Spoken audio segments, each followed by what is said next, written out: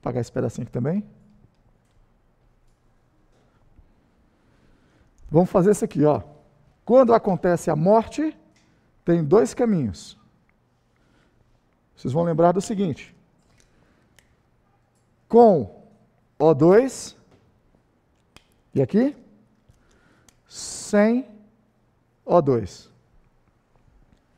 Com O2, a decomposição será total.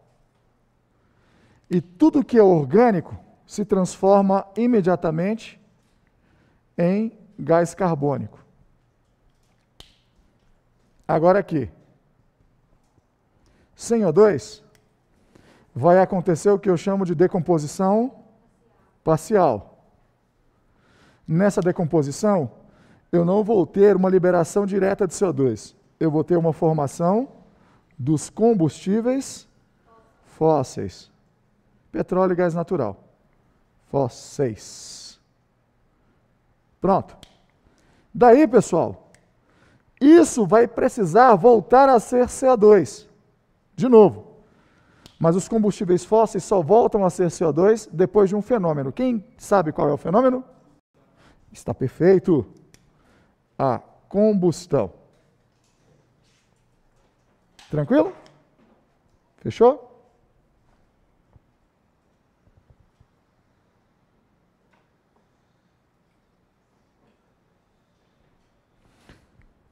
Agora vamos escrever juntos. Assim que vocês terminarem de copiar aqui o que vocês precisam copiar, agora vamos escrever juntos o objetivo 2, tá?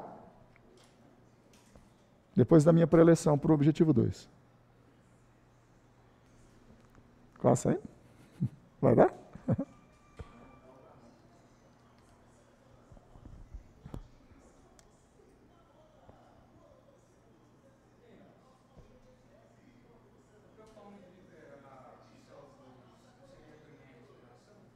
Sim, excelente.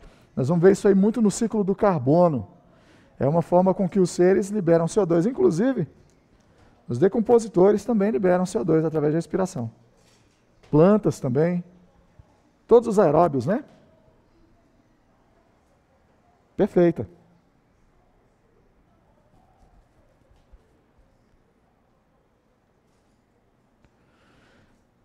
Pessoal, isso é bem específico Vou fazer uma pergunta a vocês aqui. Vocês entenderam essa dinâmica que eu criei? O ciclo do carbono é basicamente isso. Tá?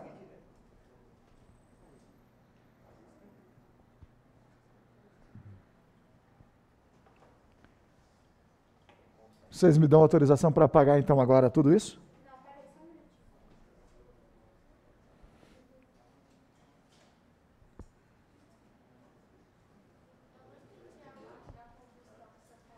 a combustão, os combustíveis fósseis, e foi bom você perguntar isso, e o pessoal até olhe para cá, isso é importante.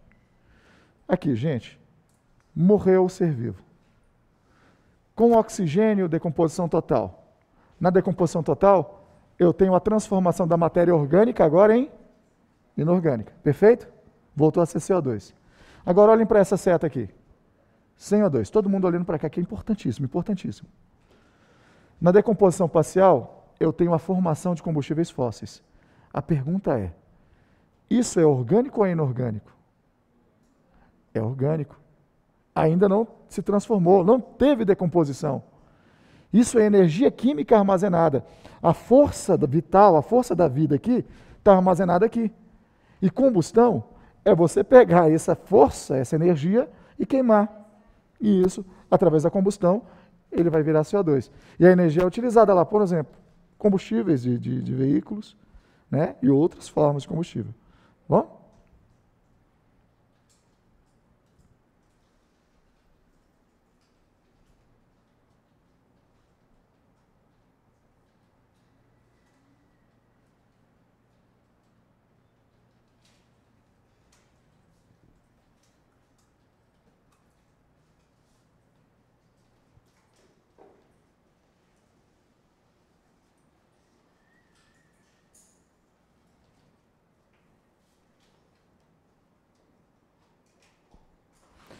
Assim que vocês me autorizarem, eu apago, tá?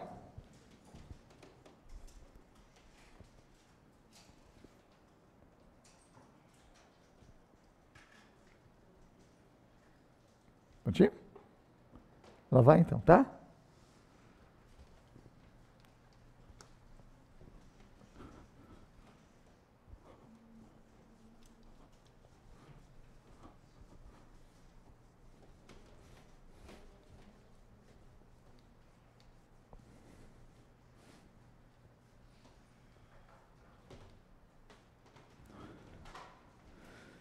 Agora então escrevam, por favor, o objetivo de número 2. Segundo, nesse objetivo, nós temos que compreender duas coisas. O primeiro é o fluxo de matéria. E o segundo é o fluxo de energia. E de quebra, a gente vai aprender também, e eu tenho certeza que vocês já sabem, porque me ouviram durante essa explanação, quais são os dois níveis tróficos mais importantes.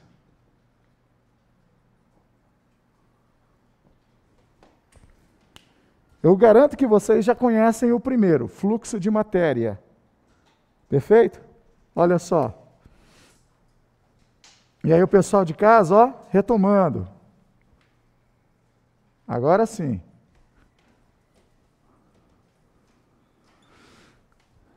Olha só. Tudo começa com ele aqui, ó. CO2. Entra no primeiro nível trófico e é transformado aqui em C6 H12O6. A matéria inorgânica vira orgânica. Mesmo nesse nível trófico aqui, eu já tenho a manipulação. Eu tenho transformação disto em proteínas e eu vou um pouco além dentro da química. Como eu disse para vocês, eu ia pesar a mão. Eu tenho carbono, hidro, é, hidrogênio e. Vamos lembrar aqui, ó. CHO. Quem é o próximo? N. Para no N. Olha como faz sentido, gente. A vida começa só com carboidrato. Daí surgem os animais. Os animais, eles têm uma riqueza muito grande de proteínas.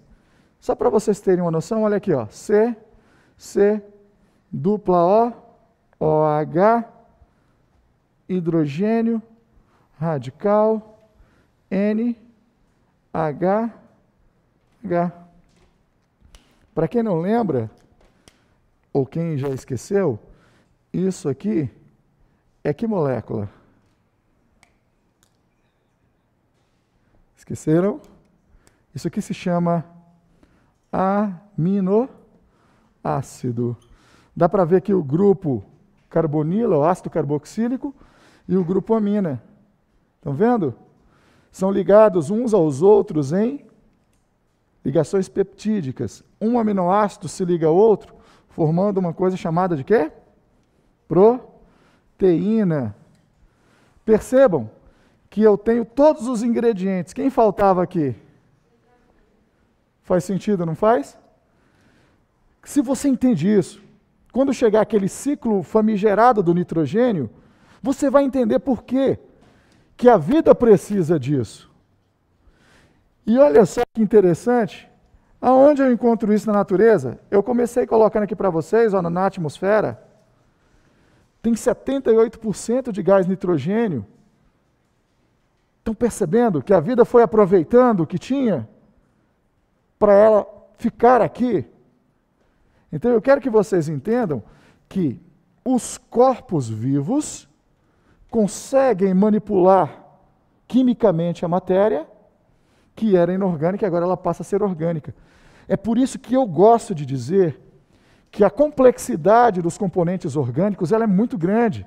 Você tem moléculas de proteínas com mais de mil, dez mil aminoácidos. Porque para manter viva, funcionando uma máquina, ela precisa ter complexidade química. Enquanto que uma coisa inorgânica é dois átomos, três estourando, água, H2O, sal, NaCl. É matéria bruta. Os corpos vivos têm esse poder de transformar isso. É por isso que se perguntarem para vocês, qual é a substância orgânica mais abundante das plantas? Faz sentido que, você, que é o carboidrato, porque ela faz fotossíntese. E dos animais? Proteínas. Tudo bem? Entendido isso? A gente vai ter uma aula especial só sobre bioquímica celular, vamos falar de carboidratos, proteínas. Eu sei que vocês esqueceram há muito tempo isso, né? Então a gente vai voltar. Tá bom, gente? Quase rolando já?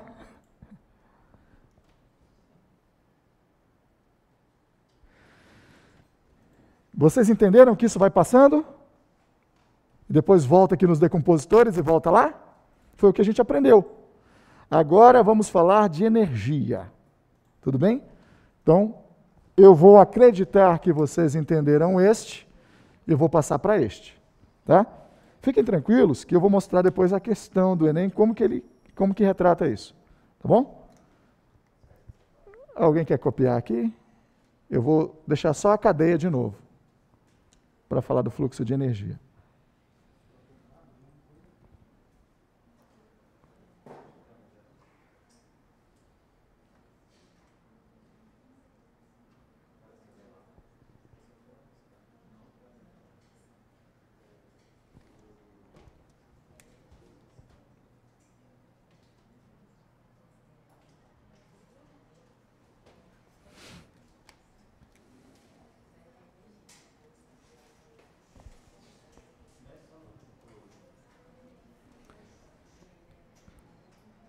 Pode?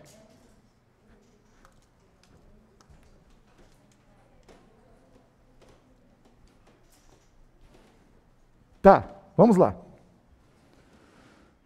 O que faz os seres vivos conseguirem realizar suas atividades? Olha que impressionante. Existe um animalzinho no mar conhecido como enguia elétrica. Ela consegue dar choques elétricos de verdade em alguns algumas presas e atordoar e comer. Existem algumas que soltam substâncias urticantes, como é o caso das águas vivas. Existe aquele animalzinho que parece um inseto, é, que é um inseto que tem lá uma luminosidade. É o vagalume. De onde vem a energia? Uma coisa é certa, a gente aprendeu a fazer isso. A gente pega, na parte da física, energia elétrica e coloca nas lâmpadas, transforma em energia luminosa no aparelho de som, energia sonora. E assim a gente transforma a energia. A gente só copia o que a vida faz. A vida transforma muitas formas de energia. Mas uma coisa não pode ser esquecida mais. A energia que faz a vida se movimentar é chamada de adenosina trifosfato. Quem não tem familiaridade com isso aqui, por favor, comece a se preocupar. Isso aqui é muito perguntado em prova adenosina trifosfato. Mas a pergunta é simples: de onde vem a primeira forma energética que alimenta o sistema vivo? Tudo começa aqui no lado do produtor. E é exatamente isso que alguém falou aí atrás. É a nossa estrela aí, de 6 bilhões de anos, que tem aqui uma temperatura de 6 mil graus na sua superfície, que é o Sol. Perfeito? Essa energia que chega aqui, depois da fotossíntese, faz com que, por exemplo, o capim aqui consiga absorver. Eu não estou falando de um pé de capim, estou falando de uma população. Vamos imaginar 100 mil quilocalorias, por exemplo. Tá? Eu não estou falando da luz. A luz foi para fazer fotossíntese. A planta pegou o que ela produziu, que é o carboidrato, somou com o oxigênio e respirou e produziu o quê? ATP. É vivo. É essa a energia. Tudo bem? Quero que vocês entendam. Quando o gafanhoto come o capim, ele vai conseguir pegar os, os nutrientes fabricados e vai respirar. E vai construir a energia dele. Mas a minha pergunta é simples: essa energia vai vir totalmente para cá? Ou será aumentada ou será diminuída? Ela será diminuída. Nós fazemos um cálculo aí e acreditamos que é em torno de 10% dessa energia. E faz todo sentido. Eu coloquei um número redondo aqui para vocês colocarem o que aqui? 10 mil quilocalorias ou quilojoules. Faz sentido que a energia disponível aqui seja menor que aqui, que vai ser menor aqui e menor aqui? Faz. Porque o capim, durante a sua vida, ele gasta energia para se reproduzir, ele gasta energia para renovar seus tecidos, gasta energia para crescimento, gasta energia para fazer a fotossíntese, gasta energia para respirar. Portanto, a energia que ele tem, em torno de 90% aqui, ó, é gasta durante a vida do ser. E toda vez que vai ficando disponível, só passa quanto? 10%. Quanto que eu vou ter aqui então no nível do sapo? Mil quilocalorias. E, e no nível da cobra? Apenas 100 quilocalorias.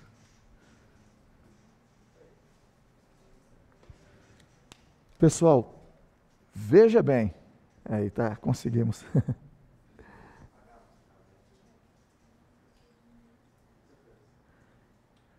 Pessoal, agora veja bem. Nas provas, eles querem saber se vocês conseguem entender que quanto mais próximo você está da fonte, mais energia você terá. Ele vai perguntar quem tem mais energia, qual é o nível mais energético, o nível do gafanhoto ou o nível do sapo? Do gafanhoto. O nível do gafanhoto ou o nível da cobra? Do gafanhoto. Só que não vai ser assim, continha de mais e menos, né, no ensino fundamental. O cara vai fazer uma teia alimentar enorme e vai pedir para você, vai perguntar de uma cadeia de lá e de outra aqui, quem é mais energético? É assim que realmente acontece, tá bom? Prometo que nós faremos questões disso aqui também. Mas o cerne, vocês entenderam? Entenderam? Então pronto. Como o pessoal aqui, os nossos técnicos maravilhosos, parabéns, conseguiram aqui funcionar um probleminha técnico que a gente tinha. Agora a gente começa a retomar aqui juntos. Eu vou passar rapidinho o que a gente já viu na aula passada. Epa.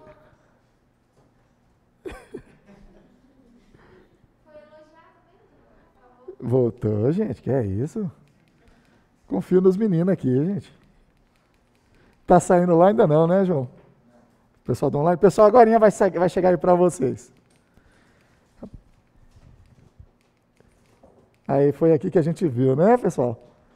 Ali o Ligre. Parece que a aula fica mais massa assim, né? Olha lá o que eu falei para vocês, ó. Dá para ver ali tigres e leões com 38 cromossomos. A égua ali, o jumentinho. Pronto. Foi aí que a gente parou a carga cromossômica. E aí entramos no segundo capítulo, que é esse que a gente está. Tá? Bom, vocês vão ver como é que a aula seria muito massa se fosse só ali. Ó. Olha lá. Retomando rapidinho, agora vocês vão entender tudo melhor ainda, porque já tiveram um pedaço da aula. Quanto tempo? Tem muito tempo ainda, né? 20? Então, olha lá. Conhecer os níveis tróficos, já está rolando também para eles? Tá? Então, conhecer os níveis tróficos, além da diferença de teia e cadeia. Tá aí, ó, os níveis que a gente marcou. Está ali o produtor, consumidor de primeira, segunda e terceira ordem. E aí, justamente o que eu coloquei aqui para vocês. E ali, aumentei uma é, para falar que é tem alimentar a partir de então. Tudo bem? Bacana, né? Por que, que vai ser melhor aqui? Porque agora vocês vão ver uma questão do Enem contendo o objetivo. Então vamos lá. Comigo, atentamente. Os personagens Daí vocês vão entender que uma coisa tão simples eles conseguem atrapalhar. Né? Os personagens da figura estão representando situação hipotética de uma cadeia alimentar. Vou até aumentar aqui, ó. Volta para nós. Aí.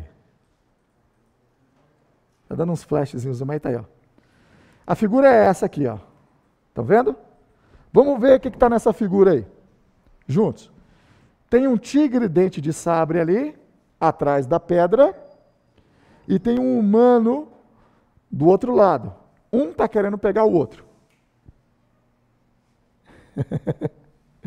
um está querendo pegar o outro.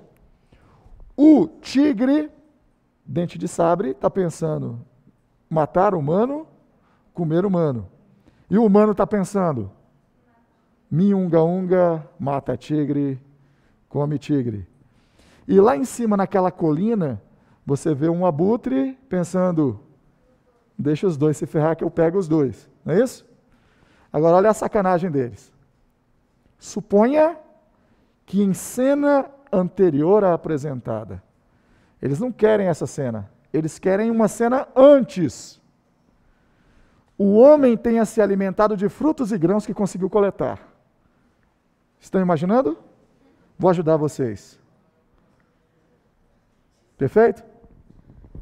Mas a sacanagem é maior. Na hipótese das próximas cenas, ele quer a outra. O tigre ser bem-sucedido e depois servir de comida para os abutres. O que, que ele quis dizer aqui?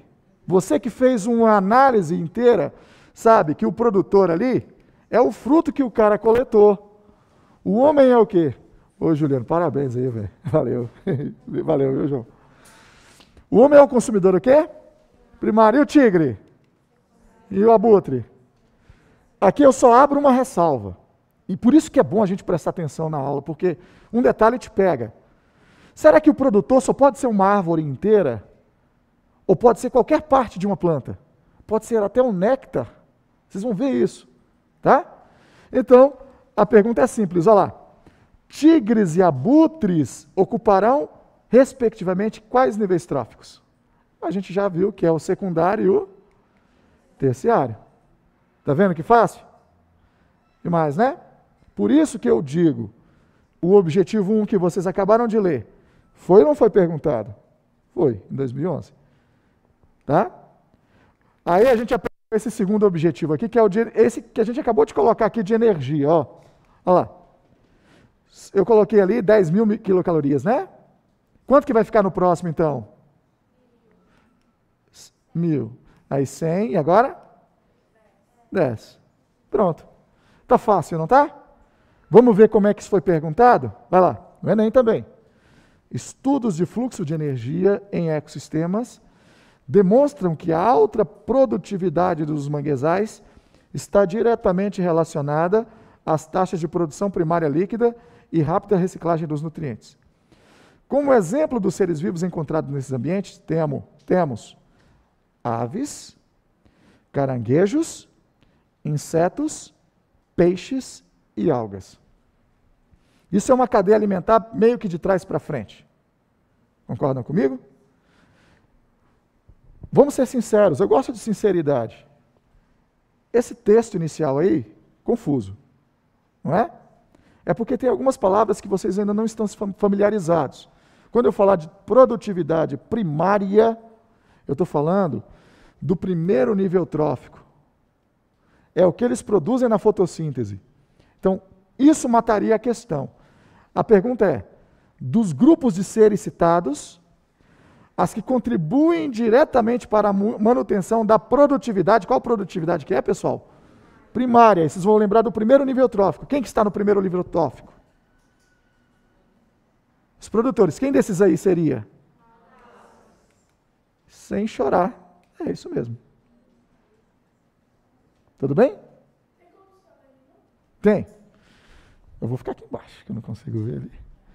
Estudos de fluxo de energia em ecossistemas demonstram a alta produtividade nos manguezais. Manguezal, vocês lembram que é um tipo de bioma. Aqueles que ficam lá no litoral, aonde tem aquela, aquele alagamento. Por isso que as raízes são o quê? São aéreas, pneumatóforas, né? está diretamente relacionada com as taxas de produção primária líquida. Essa é a palavra-chave, primária, tá? Então, quem é que produz a primeira energia? O produtor. Daí ele coloca uma cadeia alimentar ali. Ele coloca propositalmente aves primeiro. Depois ele coloca caranguejos. Seria muito fácil se tivesse algas, peixes, insetos, caranguejos e aves, não seria?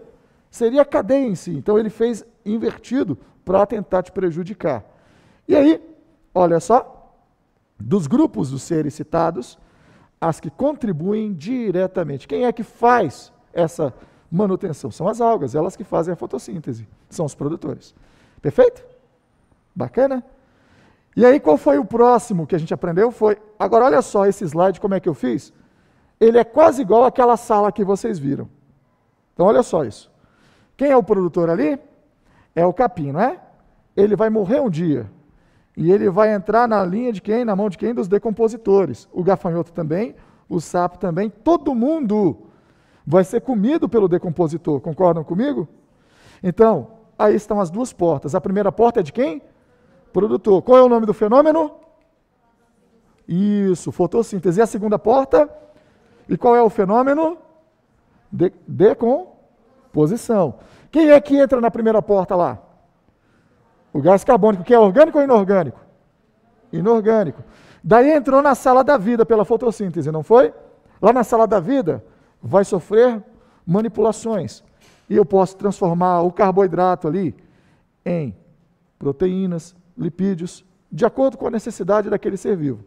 Depois da morte, passa pela decomposição. Não falei aqui de total e parcial, mas vocês já sabem, mas aí volta a ser gás carbônico de novo. Está vendo? Ficou mais fácil, né? Perfeito. Assim fica até mais legal. Vamos ver se tem alguma questão sobre isso? Tem uma. Também do Enem. Vem comigo. Olha como faz todo sentido o que eu expliquei.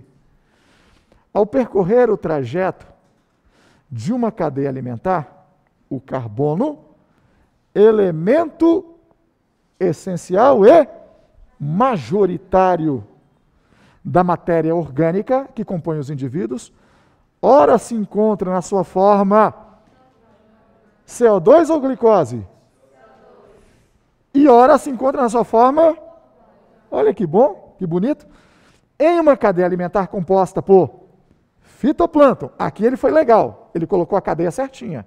Fitoplâncton, que são as algas, né? Zooplâncton, moluscos, crustáceos e peixes ocorre a transição da forma inorgânica para a forma orgânica. Em qual grupo? Qual porta que é de inorgânico para orgânico? Não é a primeira porta do produtor? Quem é então? Só pode ser. Está vendo? Faz todo sentido, né? É isso que vocês vão encontrar lá. Só precisa lembrar na hora. Tá bom? Perfeito? Eu tenho muito tempo ainda, doutor? Três? Dá para fazer esse? Esse é bom. O terceiro objetivo, tá? Agora vai mais rápido. Mesma cadeia. Tá aí. Mesma coisinha. Tá, obrigado, João. Aí. Vamos imaginar, eu até já fiz essa pergunta aqui, que uma praga mata todos os gafanhotos. O que, que acontece imediatamente com a população de sapos? Vai diminuir. Qual é o motivo? E com o produtor ali, que já tem a setinha, pede o predador natural. Perfeito. Está vendo? E a cobra? Diminui. Se fosse o sapo, vai lá. Vamos pensar no sapo, agora morreu. Gafanhoto. Aumenta é, produtor diminui e cobra você, diminui isso. Vocês estão, estão percebendo que eu tratei aqui da extinção de um nível trófico. Mas agora vem uma pergunta que cai demais. E o que, que acontece num caso como esse? Suponha que um casal de gente muito rica vá até a Tailândia e de lá traga na sua bagagem escondida um casal dessa espécie chamada de dragão de Komodo. Um macho e uma fêmeazinha filhote. Depois esse casal foge e começa uma vida louca pela savana do brasileiro. Não tem savana, mas tem lá o, o, o cerrado brasileiro. E começa a se multiplicar ali e vira uma população. E o pior de tudo, começa a gostar de carne de sapo. Vocês estão vendo que se estabelece agora uma competição entre uma espécie nativa, que é quem? E uma espécie exótica, que é quem? o dragão de Komodo. Essa relação é uma competição intraespecífica ou interespecífica? Inter, porque são de espécies diferentes. Quem vai se lascar de primeiro aí? O sapo, coitado, né? O sapo sempre se lascando. E aí, o gafanhoto? E, e o produtor? Diminui. Agora vem a pergunta mais relevante. Nesta competição, quem sai em vantagem? A espécie nativa ou a espécie exótica? Vocês vão sempre lembrar disso. Tem aluno que gosta de fazer a comparação. Ah, professor, tem que ver aí quem são os competidores. Não, vocês vão ver de, de forma geral. Sempre a espécie exótica tem vantagem. Só que não adianta, tem motivo. Qual o motivo? Vai acabar, vai acabar. Dá só mais 30 segundinhos. Qual o motivo? Perfeito. As espécies nativas provavelmente terão predadores naturais e parasitas naturais enquanto que a espécie exótica não. Por isso eles têm vantagem. Beleza? Pessoal, valeu. Era o nosso próximo. Vai entrar nele, mas eu desenho de novo. Um beijo a vocês que estão em casa, Deus abençoe, desculpa aí qualquer coisa. A gente volta com tudo semana que vem. Eu não sei se amanhã, amanhã eu estou aqui não. Valeu, gente, obrigado.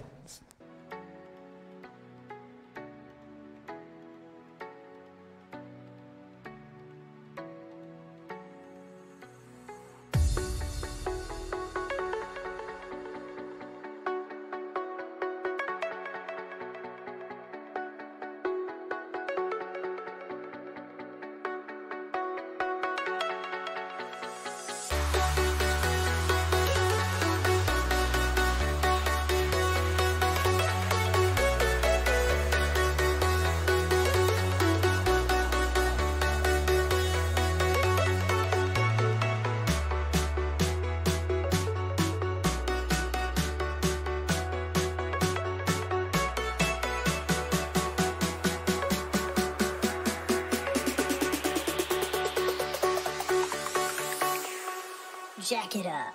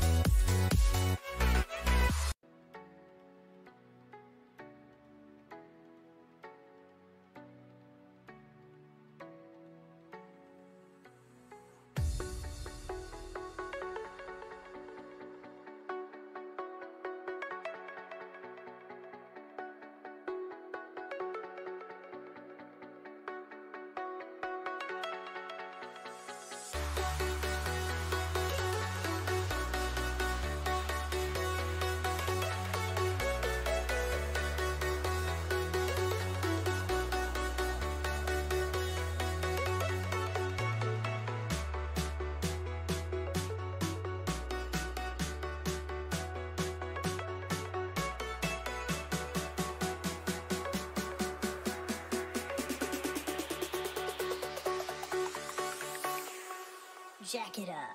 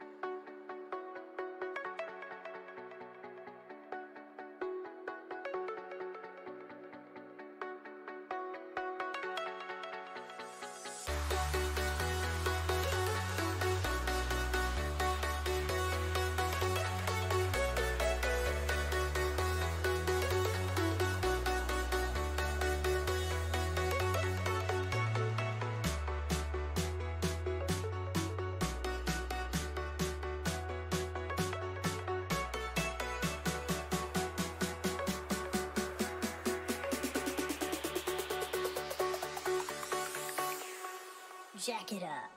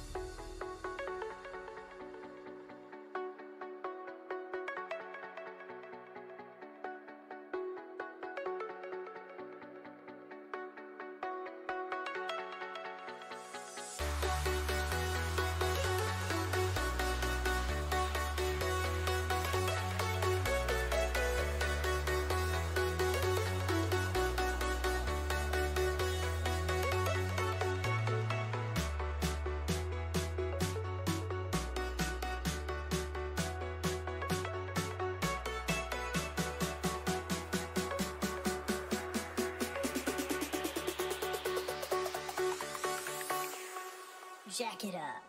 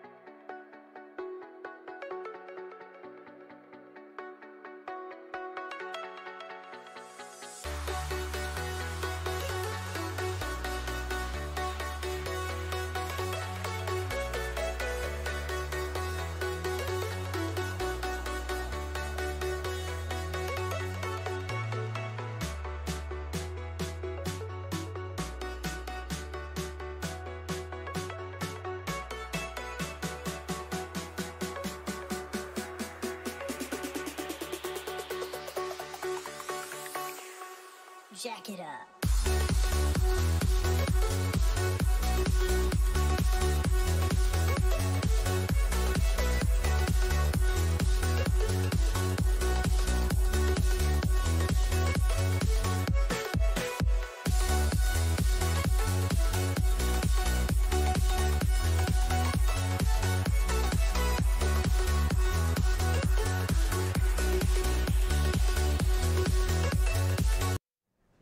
Pessoal, boa tarde.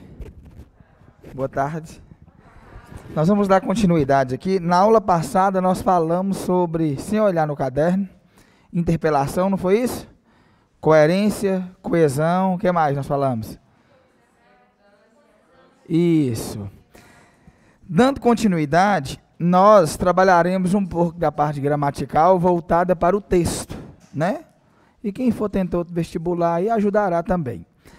Por exemplo, nós vamos trabalhar acentuação gráfica. Vai cair uma questão de acentuação gráfica no Enem? Não. Mas para você escrever o texto, você terá de acentuar as palavras, não é isso? Então vamos lá. Ó, aí, antes de nós estudarmos acentuação gráfica, existe uma matéria de subimportância que é chamada prosódia. E temos também a ortoépia. Alguém já ouviu falar nisso daqui? Sabe o que, que é? Prosódia, ortoépia? Não, né? Ou a gente fala não. Não. Então vamos lá. Quando eu trato de prosódia, a prosódia estuda a pronúncia a pronúncia das palavras, das palavras, baseando-se na sílaba tônica. Na sílaba tônica. Como assim? Para se dizer que uma palavra possui erro de prosódia, é porque possui a erro em relação à sílaba tônica da palavra. A ortoépia, vou explicar tudo, viu? Estuda a pronúncia. A pronúncia das palavras baseando-se nos grupos vocálicos, consonantais. Não estou entendendo, João. Vou explicar. Ó. Prosódia estuda a pronúncia das palavras baseando-se em quê? Então vamos lá. Como que é isso? Leia esta palavra aqui para mim, ó. Se você ler rúbrica ou escrever rúbrica, aqui deverá ter um acento, né? Só que se você fala rúbrica, você comete um erro de prosódia. Porque a pronúncia desta palavra é rubrica. Não se diz rúbrica. Estão entendendo o que eu estou falando? O que, que é um erro de prosódia? É quando eu coloco a sílaba tônica no lugar indevido. Entenderam? Não.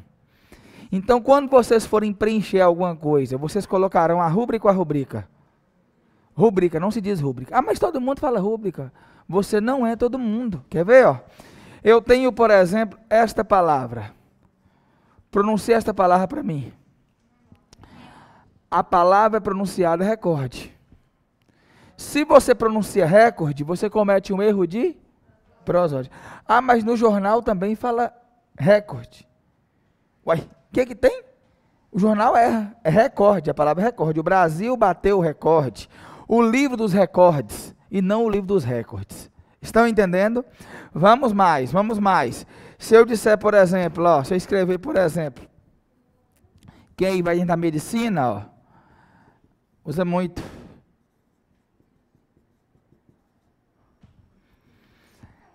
Isso, só que a pronúncia não é cateter, é cateter.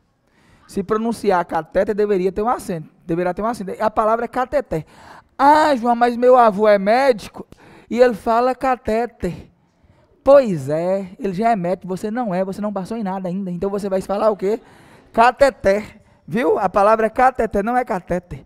Todo mundo fala a lotação. Vou pegar a lotação e não é a lotação, é o lotação. Todo mundo fala que pegou uma herpes. Uma. Estou com uma herpes aqui, ó. Não é uma herpes. Você pega um herpes. Herpes é masculino. E não feminino. Você já pegou herpes? Vai pegar. Vai, vai. Se Deus quiser. Ah, não é ureter, é o que? Ureter. Aqui, ó. Olhando aqui para a menina aqui, a Emily, né? Ela é uma pessoa pudica ou pudica? Como pronuncia essa palavra? Pudica, ela é pudica. Pudica que tem ou revela pudor, o contrário de piriguete. Pudica e não púdica. E mais uma, ela é prosa, leia aqui. A pronúncia é o que? Ruim. Não é ruim, é ruim. Fica até estranho de a gente falar, né? Oh, volta que deu ruim. Não fica ruim de falar ruim? Mas a pronúncia conforme a norma oculta é o que? Ruim. Ô João, isso aqui vai me ajudar em alguma coisa? Sim, meu filho. Faz conta que você vai escrever um texto e você escreve esta palavra aqui, ó.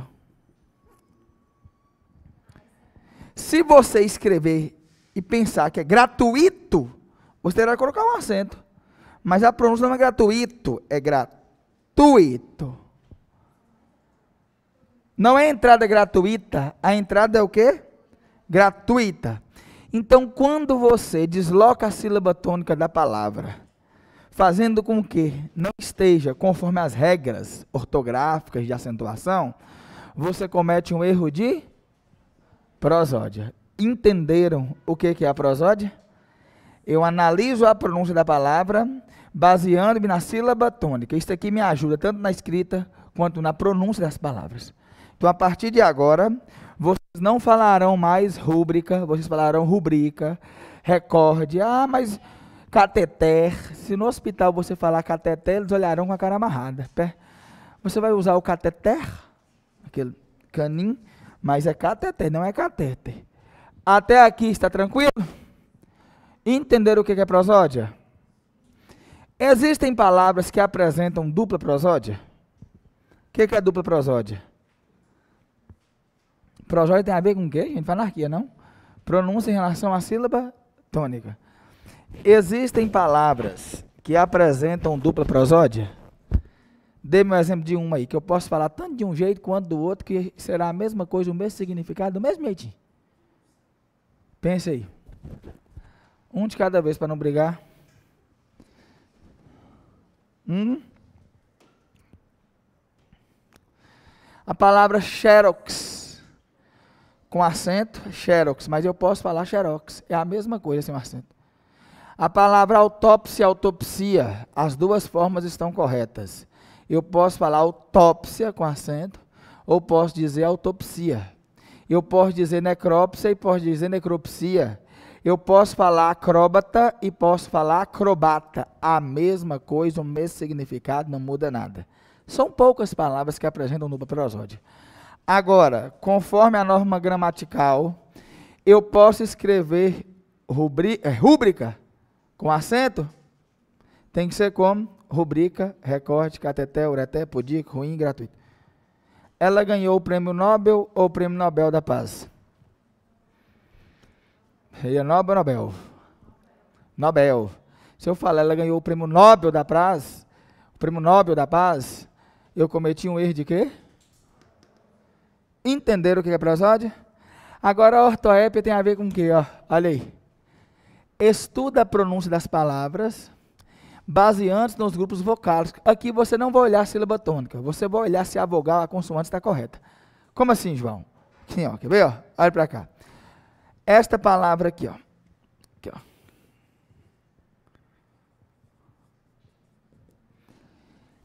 Ela apresenta um desvio de ortoépia e orgute. A gente toma de manhãzinha. Vou tomar.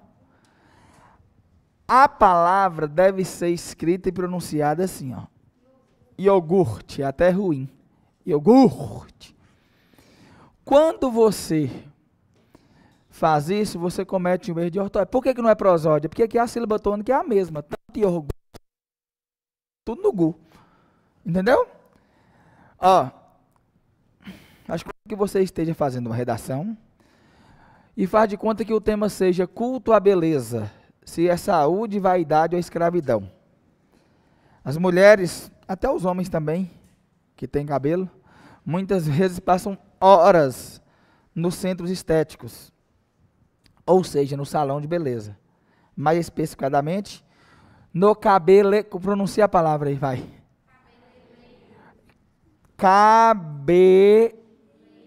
Cabeleireiro. Tem que falar cabeleireiro. Cabeleireiro. Então, cabeleireiro. Isso. Eu tenho de dizer e escrever cabeleireiro. Tem que falar leirei. É, não precisa, né, João? Cabeleireiro. Faz anos ou fazem anos que eu não vou ao cabeleireiro? A barba tem, é o barbeiro. É chique, né? Você sabia que não existe homem feio, né? Existe homem sem barba. Sabe disso? Aí o seguinte, ó. Vocês entenderam o que é a prova de ortoépia? Entenderam não? Se eu falar assim, quer ver, ó? Fala o nome disso aqui, ó. Aqui, ó. Sobrancelha ou sobrancelha? Sobrancelha. Lembra que está sobrando no cabelo. Quando eu falo sobrancelha, som, estou falando som, errado. Sobrancelha, eu cometo um erro em relação à prosódia à ortoépia. É porque a sílaba tônica está a mesma. Ó.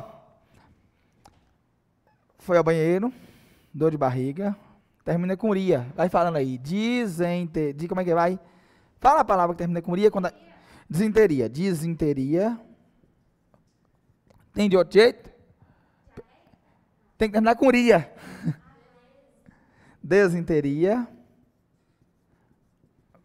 Vai. Tem mais outro jeito? Porque não é nenhum dos dois. Dizenteria, João falou dizenteria ali, ó. Dizenteria.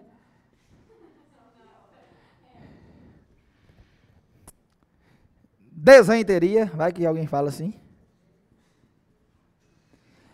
A pronúncia escrita correta é dizenteria. Acertou? João estuda, já fez faculdade e tudo, tá aqui só. É, é, fica aí. Dizenteria. Você é engenheiro, né, João? É engenheiro? Dizenteria. Pois é, vocês que tem que falar, que vocês vão dar vestibular, então olha pra cá. Dizenteria, deixa João ficar falando aí. Dizenteria. Aí para lembrar, deixa eu pegar alguém para Cristo aqui, o menino fortão ali, seu nome, filho? De blusa, é? Heitor, que eu não vou esquecer nunca, quer dizenteria. Faz conta que Heitor tem ido ao banheiro público, e ao sair do banheiro, as paredes todas sujas de bosta, assim, ó. Calma, só que não foi Heitor, não. Ô Heitor, quem foi que fez isso aqui? Aí ele vai falar, dizem que foi fulano, dizem. É só para lembrar que é o quê? Dizenteria, todas as vezes que você for tentar lembrar, em que você for tentar lembrar, se dizenteria, desenteria, você vai lembrar do menino que agou rodando no banheiro. Dizenteria, dizem, é igual a empecilho ou empecilho.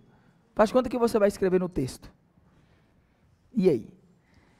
Você vai falar que no Brasil, os jovens enfrentam muitos empecilhos, principalmente os de baixa renda para estudar. O empecilho. Quem acha que é empecilho, levante a mão. Quem acha que é empecilho. Quem não levantou o dedo está rendendo enfiado onde que levantou? Você assim, ó, está voando. A palavra é empecilho, né? Empecilho, não existe empecilho não. Então vocês enfrentam muitos empecilhos no que tange a educação. Não é empecilho, para lembrar, em pé. Coloca o cílio em pé. Então vamos lá, ó. É, é, todos entenderam o que é prosódio ortoépia? A pessoa que fala advogado, ela pratica um erro em relação a quê? Prosódio ou ortoépia? Olha aí. Prosódio é a sílaba tônica. Quando eu falo advogado, advogado, a sílaba tônica é a mesma, não é não? A sílaba tônica continua a mesma. Eu não mudei a sílaba tônica, não. Então é ortoépia. Porque a ortoépia trabalha a questão das vogais que são colocadas e assim por diante. Estão entendendo? Então a pronúncia das palavras é importante para que você possa acentuá-las. Porque se você aprender, por exemplo, nós vamos estudar aqui agora a acentuação gráfica e veremos as proparoxítonas, oxítonas, paroxítonas e assim por diante. É sabido que toda proparoxítona é acentuada, não é isso? Fala, é. É. Se você não tiver estudado prosódia e não souber que esta palavra é pronunciada rubrica, você colocará o acento aqui, porque você sabe a regra. Rúbrica, opa, proparoxítona, todas as proparoxítonas são acentuadas. Mas essa palavra não é proparoxítona, ela é paroxítona. Então existem algumas palavras em relação às quais você tem que saber a pronúncia antes da regra. Porque se você não souber a pronúncia aqui souber só a regra, você escreverá errado.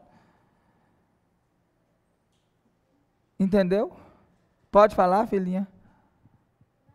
Ah, achei que estava perguntando.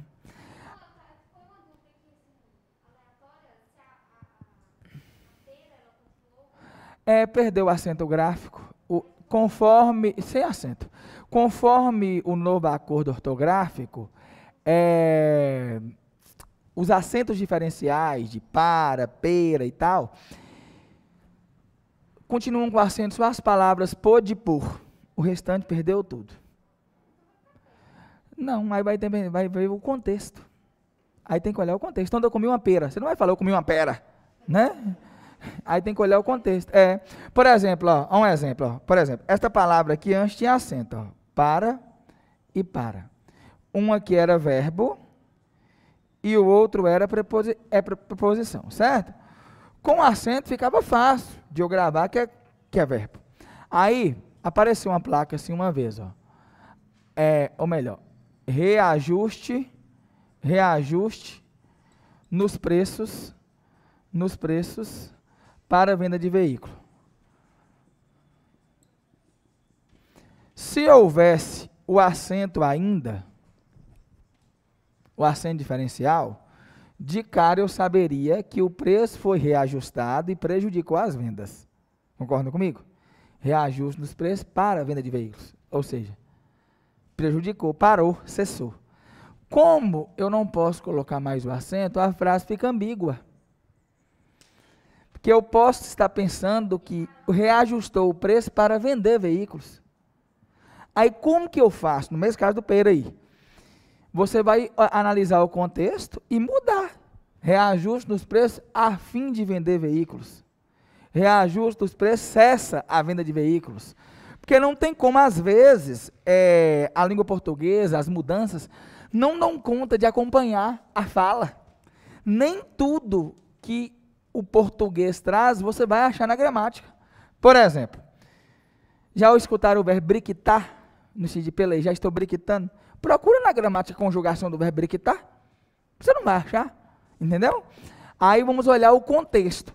Então, algumas palavras, conforme a norma culta, nós temos de olhar o contexto.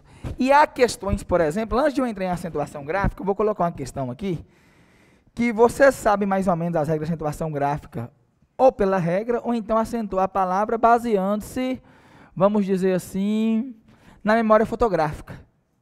Porque viu a palavra escrita com acento. Ó, olha essa alternativa aqui, antes de eu entrar em acentuação gráfica. Ó. Marque. Eu estou querendo mostrar a vocês que para estudar acentuação gráfica tem que conhecer primeiro algumas palavras. Não adianta saber as regras. Ah, eu sei todas as regras de crase. Perdoei a moça. Tem crase ou não? E aí? Quem perdoa, perdoa alguém ou perdoa a alguém? Tem que saber primeiro regência. Por exemplo, obedeci às ordens. E aí? As pessoas não respeitam as leis. Tem crase ou não? Não adiantou nada que fui ah, e volto dar crase no ar, fui ah, e volto de crase para quê? Se você não souber regência. Você pode aprender os macetes aí, sim, da língua portuguesa, eu até os ensino, os ensino, porém você tem que estudar primeiramente regência, porque quando eu coloco lá, muitas pessoas não respeitam as leis. Você aprendeu as regras de crase. Só que se você não souber a regência do verbo respeitar, você não conseguirá saber se haverá crase ou não. Quem respeita, respeita alguém ou a alguém. Quem obedece, obedece algo ou a algo. Quem perdoa, perdoa alguém ou a alguém. Estão entendendo? Do mesmo jeito aqui, ó. Olha essa questão aqui, ó. Marque a alternativa, alternativa em que, olha que chique. A palavra, olha que massa. Seja necessariamente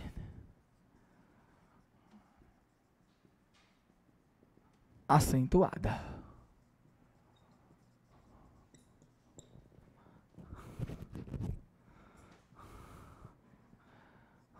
Ajudar vocês aqui, ó.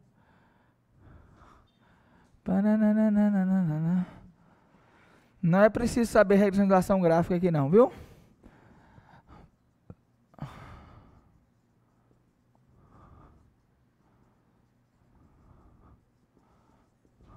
Olha aí.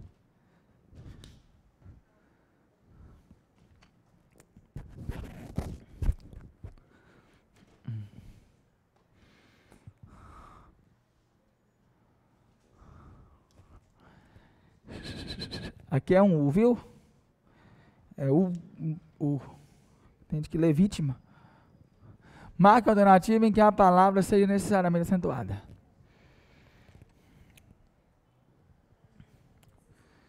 E aí, qual vai ser? Agora você vai ter que escolher.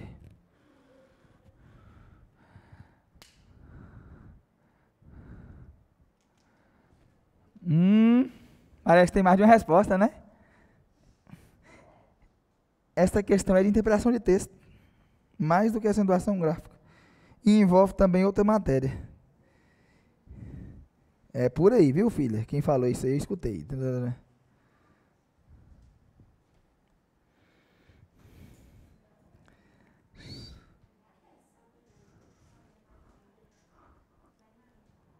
E aí, véi?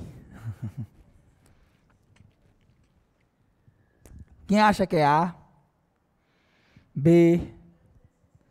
C? D? É.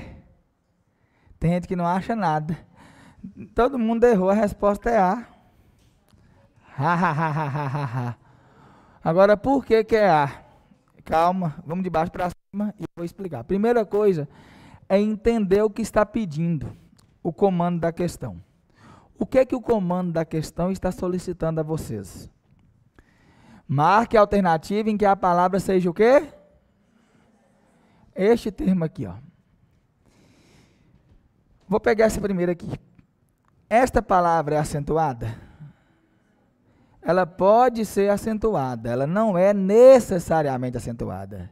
Se for público, será acentuada, mas existe público, do verbo publicar. Então ela não é o quê? Para a palavra necessariamente acentuada, não poderá haver outra possibilidade de pronunciá-la sem um acento gráfico. Entenderam não? Entenderam não? Esta palavra é acentuada? Pode, mas existe número, de numerar, de colocar o número. Numera essa casa aí, pum. Tem numerar de listar e tem numerar. Ou melhor, aqui, ó. Esta palavra aqui, ó. Ela é obrigatoriamente acentuada? Ela pode ser acentuada, mas não é o quê? Isso, gracinha. Esta aqui é necessariamente acentuada? Mesmo se fosse o V, tem vítima e tem vitima, do verbo vitimar. Não seria necessariamente acentuada. E última, existe ultima, do verbo ultimar, de finalizar. O pedreiro ultima a obra com eficácia. Calma. O pedreiro ultima a obra com eficácia. Ele guarda as coisas no seu lugar, no lugar devido e fica tudo arrumadinho e tal. Até existe ate do verbo atar. Talvez ele ate as mãos do meliante do verbo atar, de amarrar. De ficar com as mãos atadas. E aqui? Não existe saber, é soubera. A única forma possível aqui é saberá. Então, esta palavra é obrigatoriamente acentuada. É massa, né? Não existe saber, é o que? Saberá. Mais um, vamos mais uma aqui, peraí, olha para cá. Todo mundo feliz. P primeiro, vocês entenderam o comando da questão? Necessariamente acentuada? Não existe outro jeito? Olha aí.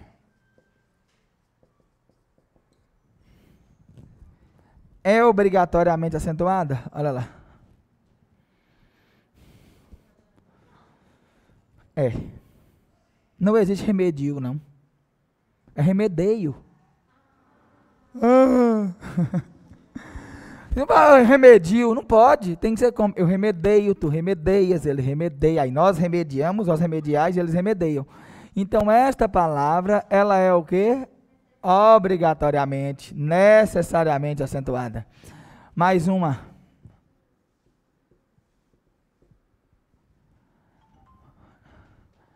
Obrigatoriamente, necessariamente acentuada ou não. A gente não tem nada a ver errar não, viu? E aí?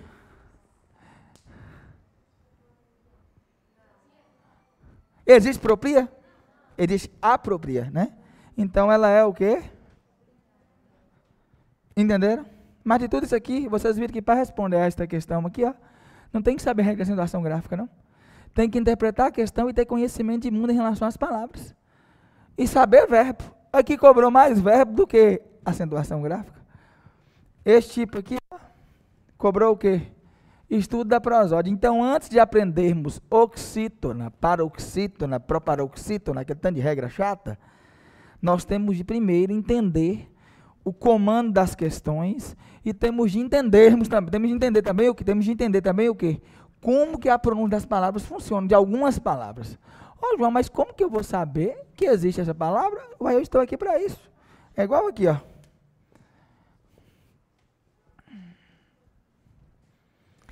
É necessariamente acentuada?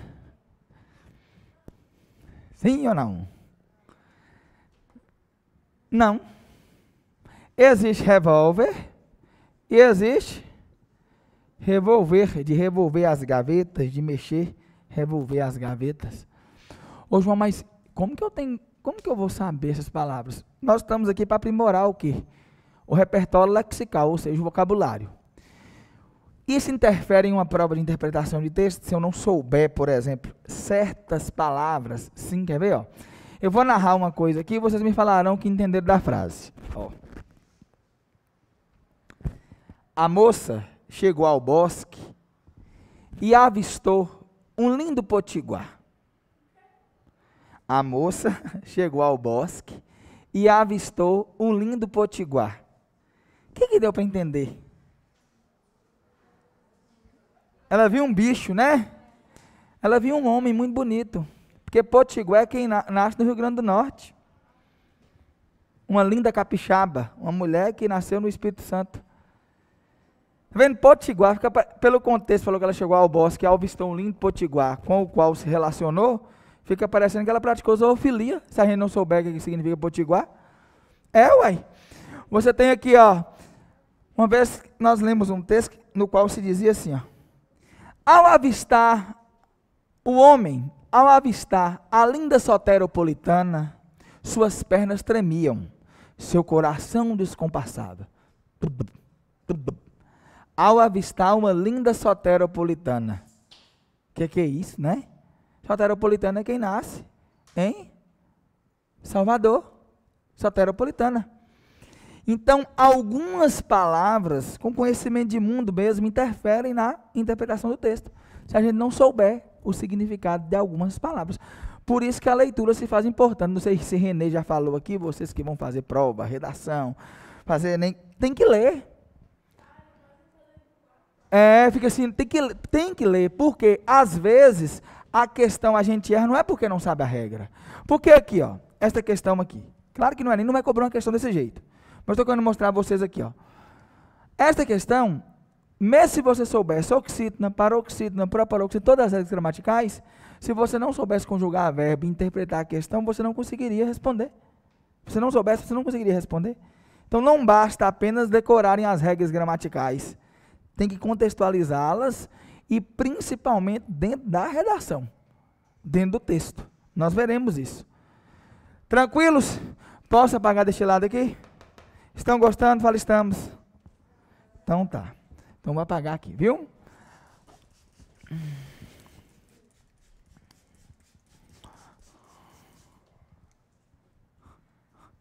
Estão com fome? Hoje haverá um lanche para vocês, vocês são sortudos, né? É, cinco reais eu acho. Na que é um suco, um refrigerante. Que tá um Ceará retado, né? Para lanche. Ô dó de nós. Aí, ó, o, o xenofobia. Tá um Ceará retado. Colocando o Ceará como um lugar em que há escassez de alimentos. Vou falar que tá um Ceará retado, né? Tem nada. Se soltar um casal de bode aqui, morre de fome. Vamos lá, ó. Qual a diferença entre prosódia e ortoépia mesmo? Prosódia e ortoépia, como é que é? Sem olhar, sem olhar, Emily, sem olhar.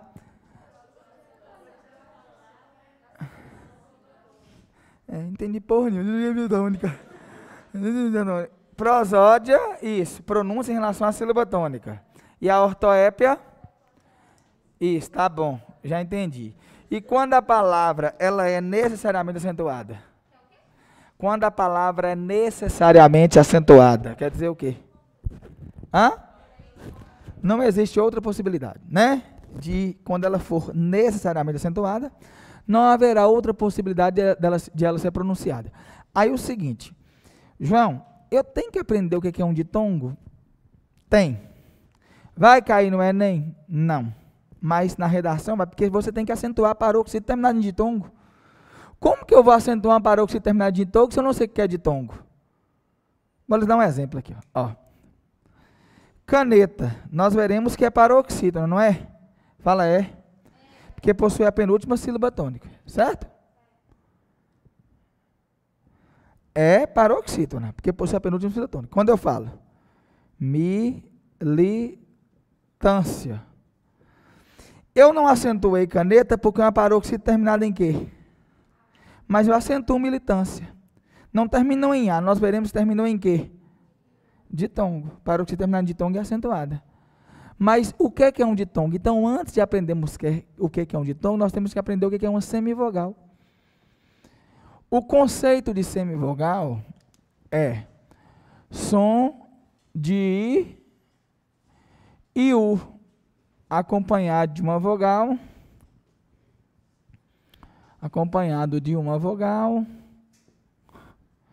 de uma vogal na mesma sílaba. Então vamos lá, todo mundo feliz? Vamos lá. Ó. Escute a minha fala aqui, ó. Em uma sílaba eu posso ter no máximo uma vogal e no mínimo uma vogal. Olhe para cá. Quantas vogais eu posso ter na sílaba? E no mínimo? É no máximo e no mínimo uma. No máximo e no mínimo. Olha a mão aqui, ó. Uma. Uma, você tem que falar, uma. Aí quando eu falo aqui, olha para cá, olha para cá. Pera aí, ó. Olhe para cá, olhe para cá. Quando eu falo água. Quantas vogais eu tenho aqui?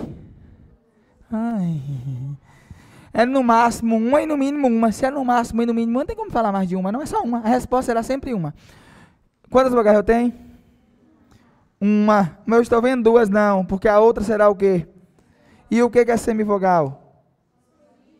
Então, o A é minha vogal e o U é minha semi. Entendi ainda não, João. Quantas vogais eu posso possuir na sílaba no máximo e no mínimo? Então, quando eu perguntar quantas vogais na sílaba, não haverá outra possibilidade de resposta, não é sempre uma, viu? Quando eu falo assim, ó, leite, quantas vogais eu tenho? Porque a outra é o quê? Aqui eu tenho uma vogal e nessa sílaba aqui eu tenho outra. Semivogal vai ser o quê? A letra I, não é? Fala é. Então o ditongo é isso aí, ó.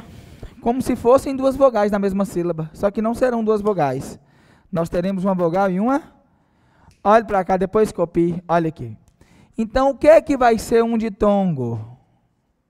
É quando eu tenho semivogal mais vogal ou vogal mais. Eu costumo brincar e dizer que a semivogal é o carro seminovo. Se eu estou num carro seminovo, partindo para um carro novo, eu estou crescendo ou decrescendo? Então, da semivogal para a vogal, forma-se um ditongo o quê? Da vogal para a semivogal, forma-se um ditongo o quê? Decrescente. Então, vamos lá para os exemplos. Vou pegar o exemplo água aqui. Quando eu falo água, ó, eu tenho aqui a minha vogal e aqui eu tenho a minha semivogal. Logo, o ditongo é crescente. Até aí, tranquilo? Porque o ditongo é crescente? Quando eu tenho, por exemplo, presta atenção, por exemplo, eu tenho a palavra, eu tenho a palavra leite. Aqui é a minha vogal e aqui é a minha semivogal. Logo, eu tenho um ditongo decrescente, porque eu vou da vogal para a semivogal. Até aqui tá de boa? Tá de boa? Então vamos lá. Quando eu falo pão e mãe.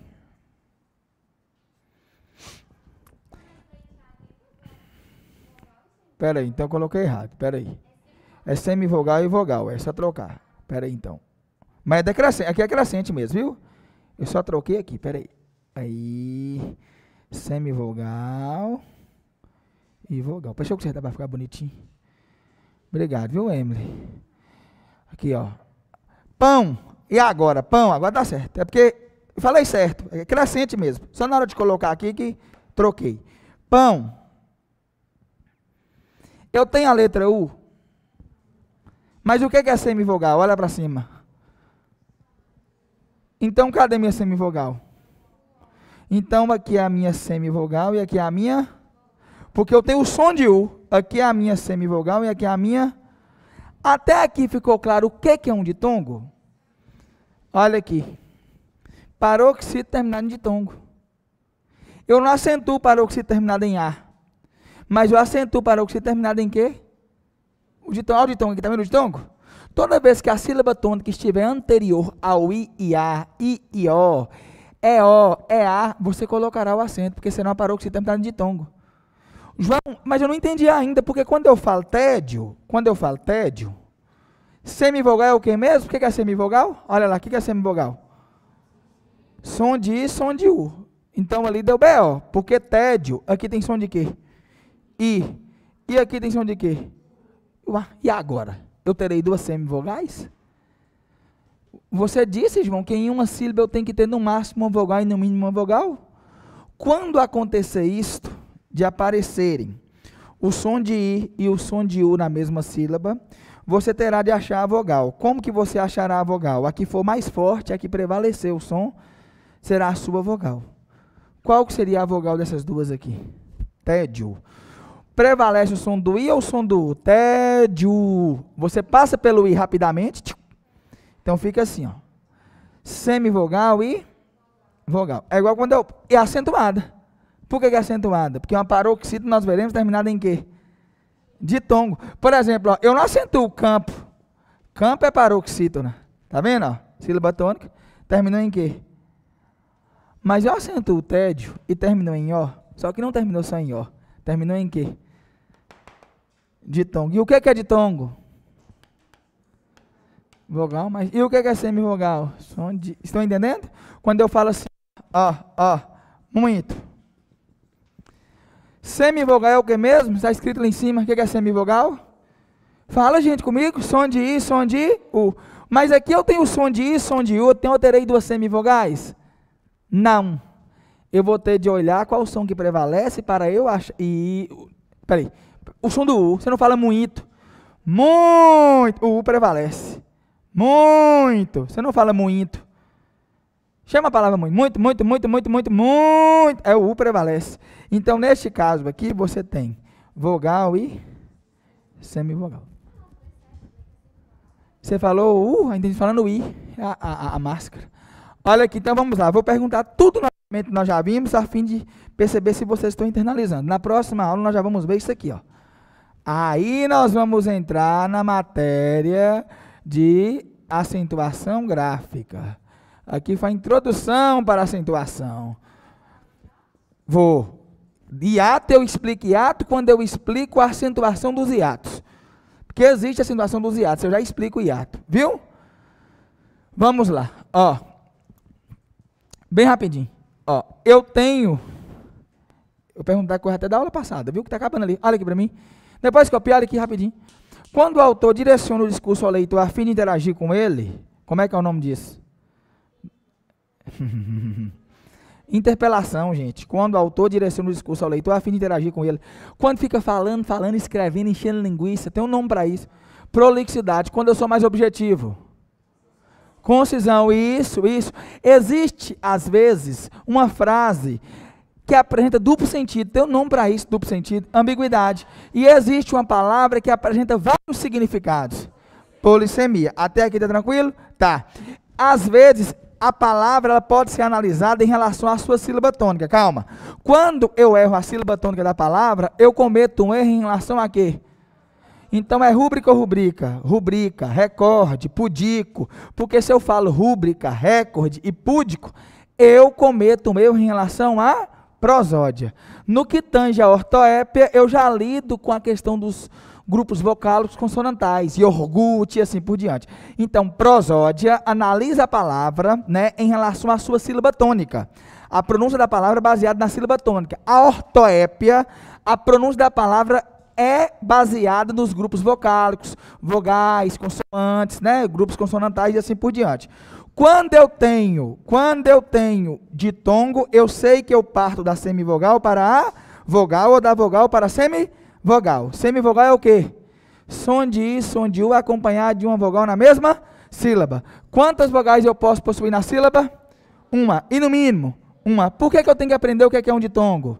Porque existe a paroxítona terminada em quê? Ditongo. E quando a palavra é necessariamente acentuada, não haverá outra possibilidade. Estão entendendo? Gostaram? Fala, gostamos. Então tá. Próxima aula nós continuaremos então, viu? Valeu.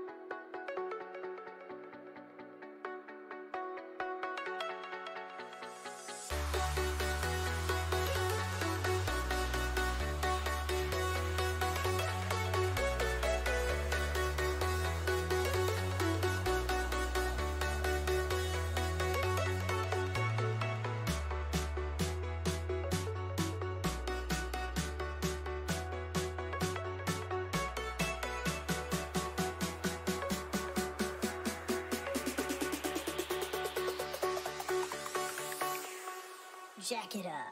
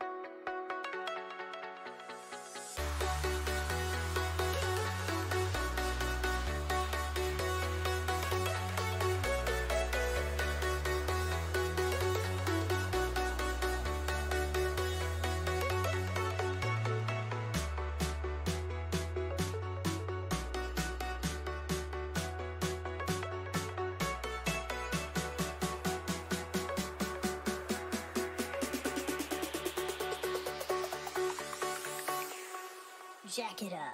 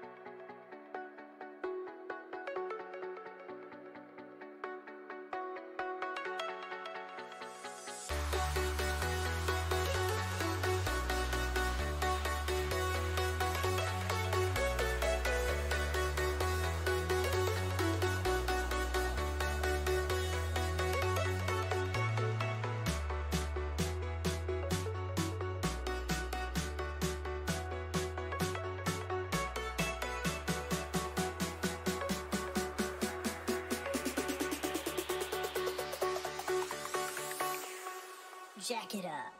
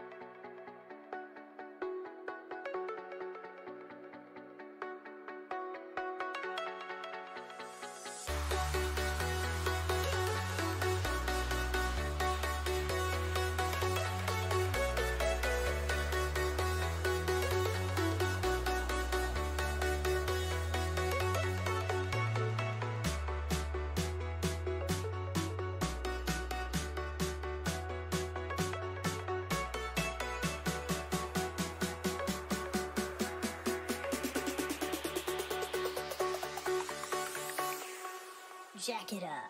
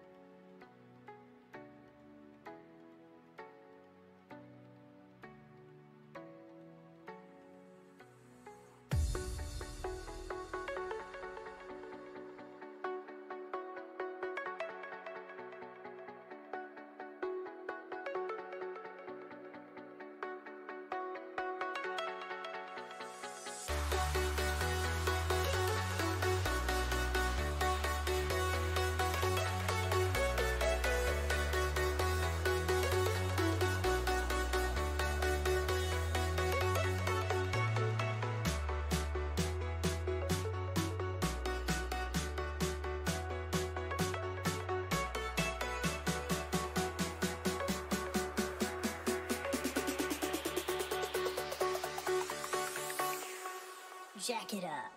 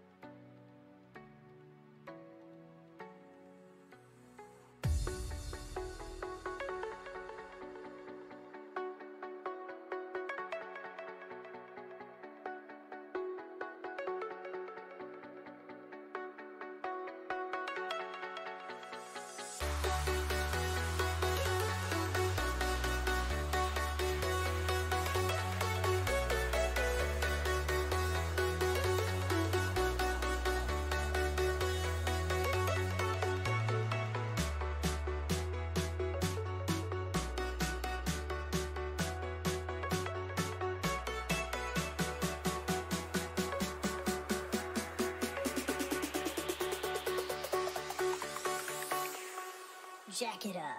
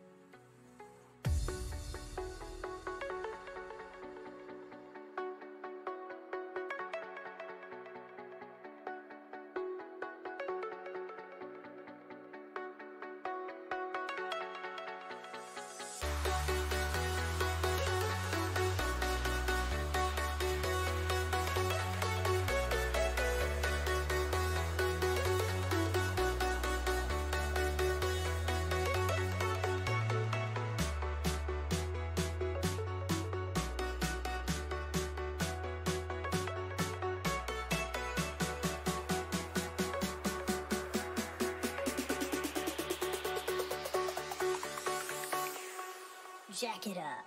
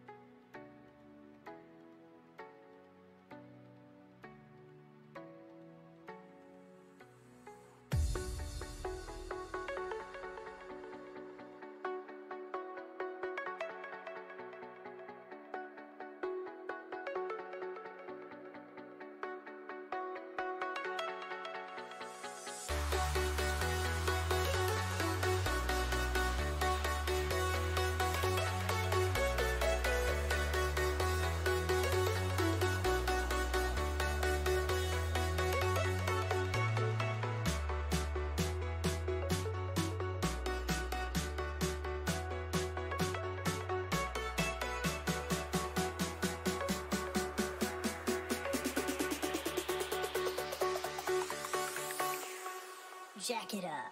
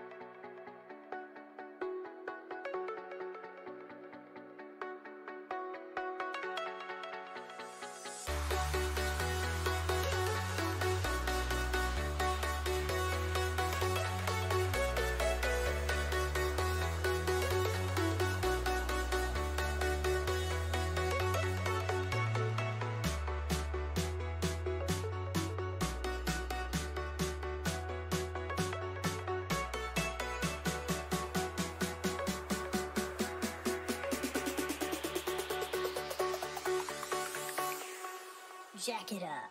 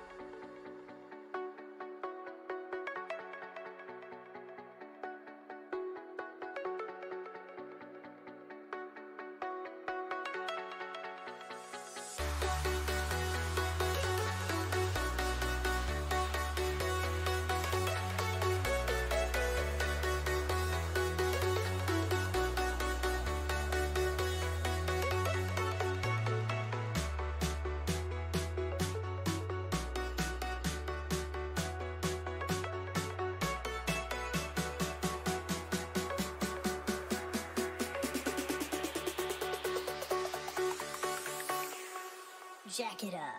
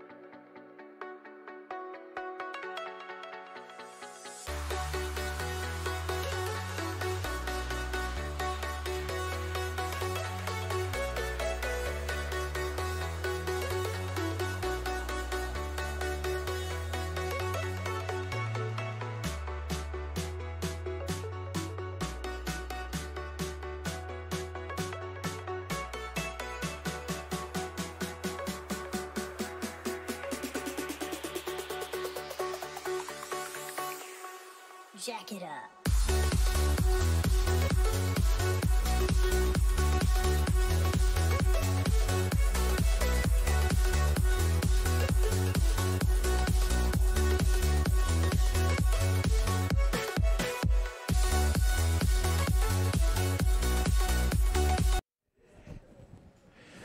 Fala moçada, boa tarde, como é que vocês estão? Tudo bom? Tá, esse, esse bem seu está um bem bem preguiçoso. Ainda mais que choveu, gente. Então tem que ser um bem mais encorpado. Gente, prazer estar aqui com vocês. Quem não me conhece, eu sou o professor Euprônio, tá? E vou estar trabalhando com vocês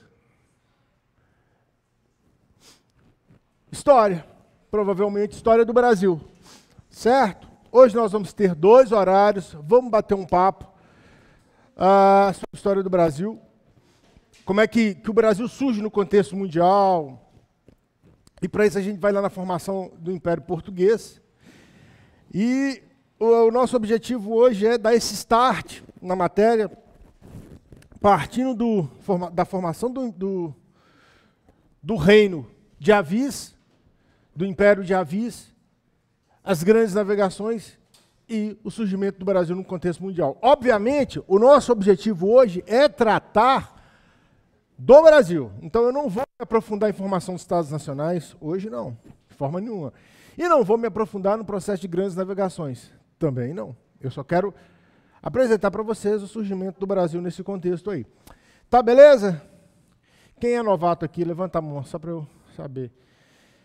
Novato. É, tem muita gente novata aí. Bacana. Bom, bom.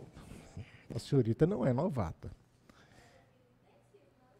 Não interessa. Eu era criança, a senhorita já era nossa aluna. Então, sejam bem-vindos todos vocês, tá bom? Eu sei que tem muita gente aí que está esperando um resultado do Enem.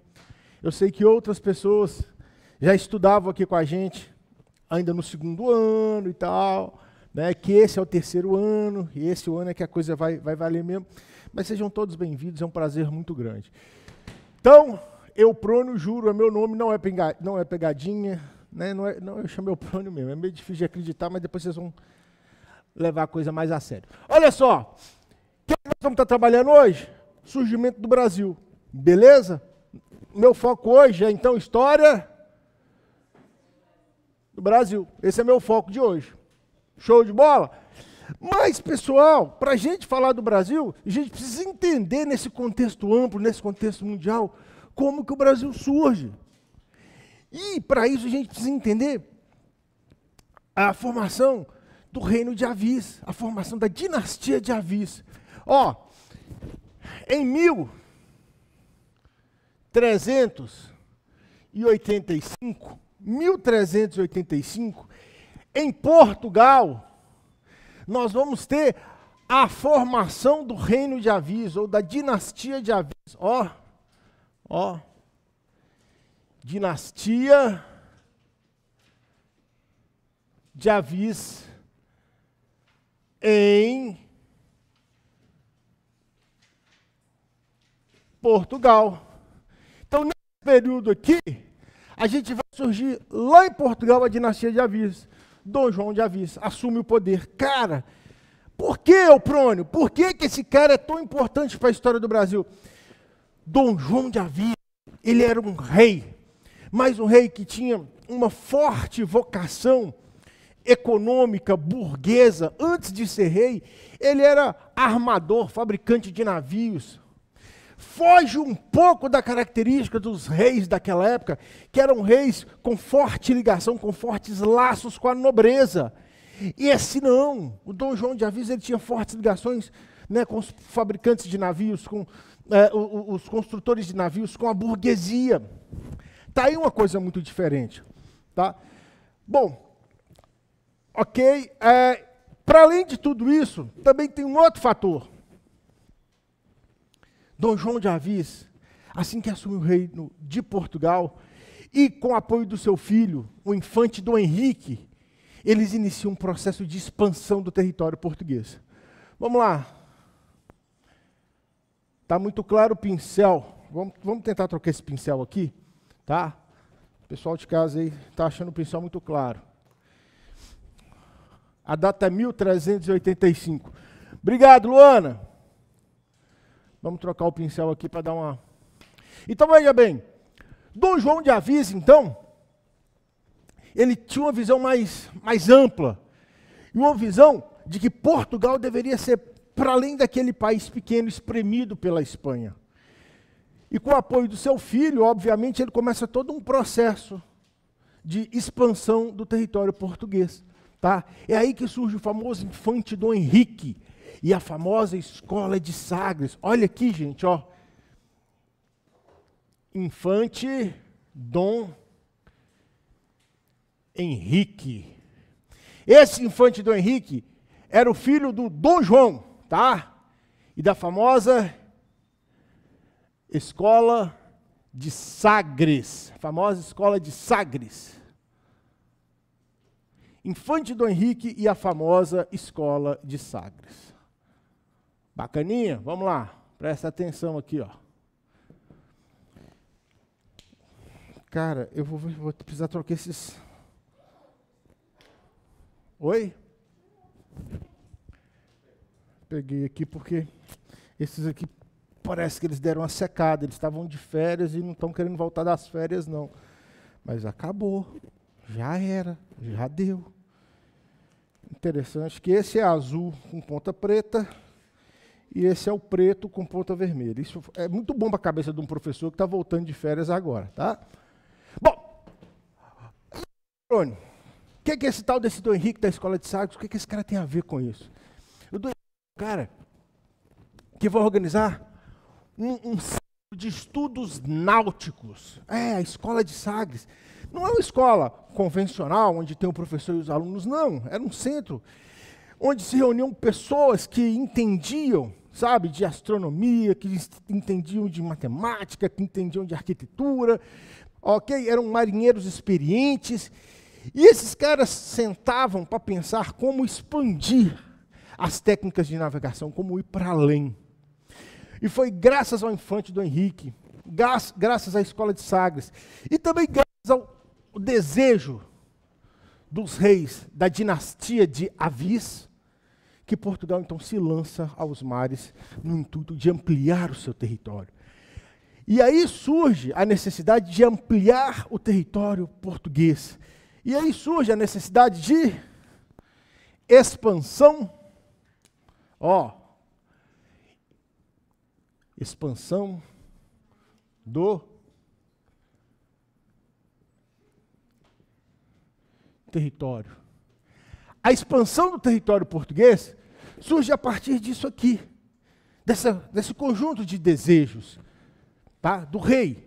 O rei buscava ampliar o território português, porque se a gente para e pensa, nós estamos falando do final do século XIV, início do século XV, numa época em que o poder estava ligado à terra. Se eu tenho muita terra, eu tenho muito poder. Se eu tenho pouca terra, eu tenho pouco poder. Então, am- ampliar o território português era um desejo real. O que, que o rei queria? Mais terra. Mais terras. Isso era o desejo de quem? Do rei português. Bom, tem duas formas de Portugal conseguir mais terras. Primeira forma, partir para cima da Espanha. Um país vizinho, um país católico. Obviamente, a igreja não ia se dar por satisfeita, a igreja não ia aprovar esse tipo de, de situação. Como é que é? Briga entre reinos católicos? Não, isso para a igreja não seria interessante. Mas havia uma outra forma dos portugueses iniciar esse processo de expansão. E qual, é essa, qual era essa outra forma? Partir para cima dos territórios africanos. É, a África, o norte da África está bem abaixo de Portugal. É só você cruzar o Estreito de Gibraltar. Então, o rei queria o que mais? Terras. E onde ele visualiza a possibilidade dessas terras? Norte da África. Poxa, é um desejo só do rei? Não! Se o rei deseja mais terras, a burguesia portuguesa, os burgueses de Portugal, queriam mais comércio. Ó.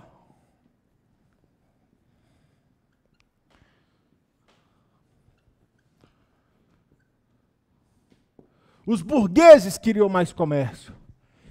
E os burgueses de Portugal visualizavam, a burguesia portuguesa visualizava que no norte da África era uma região de comércio muito amplo. Exatamente, a famosa região de Ceuta. É, Ceuta fica ali onde hoje é o Marrocos.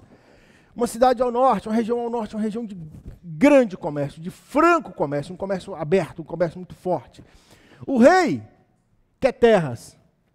Os burgueses, comércio. Até, inver- até inverti aqui, na verdade é comércio burguês. Mas tanto faz, não vai fazer diferença nenhuma.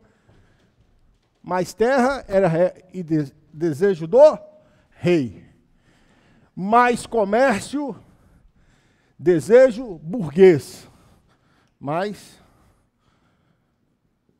comércio, que era o desejo da burguesia. É um desejo burguês. Bom, além do rei e da burguesia, tinha a igreja. A igreja desejava o quê? Desejava o quê? Fiéis. Expansão da fé. Ok? Fiéis. Igreja.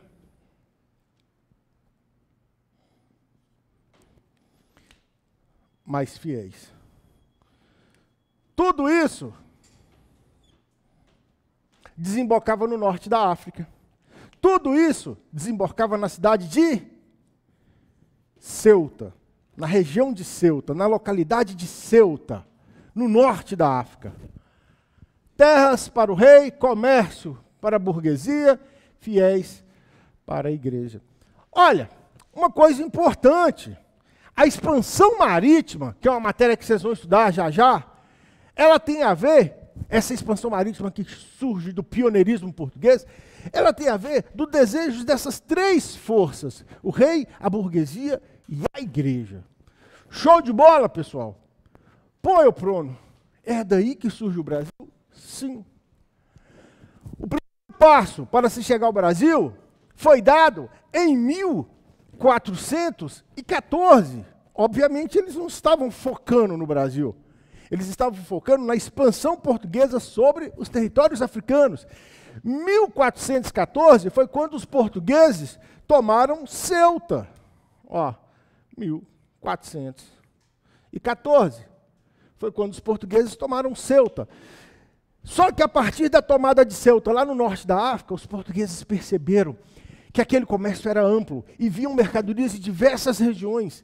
Gente, um detalhe interessante: vocês conseguem enxergar o continente africano aí na cabeça de vocês, sem a necessidade de um desenho?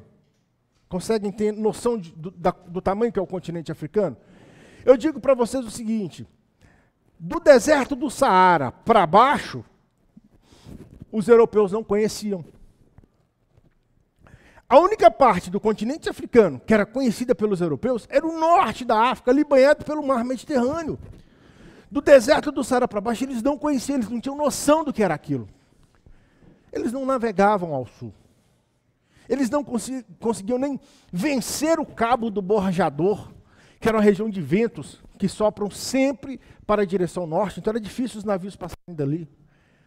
Então os europeus não tinham noção do que havia ali. Então quem primeiro vem descendo o litoral africano?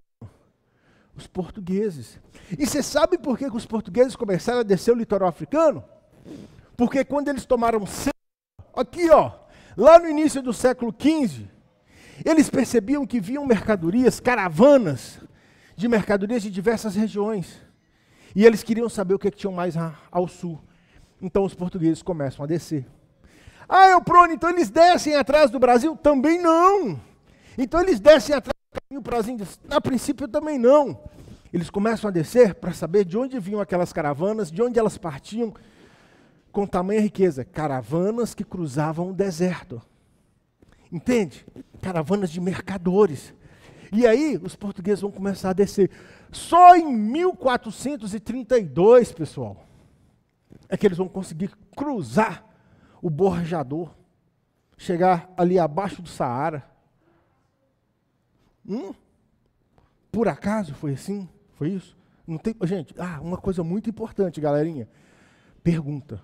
Viu? Tem dúvida? Eu, Bruno, como é que isso está acontecendo? Pergunta. O Enem hoje abriu um parêntese para falar para vocês uma coisa muito importante. O Enem hoje, ele cobra do aluno uma visão mais ampla. O que a gente chama de uma visão mais holística. Tá?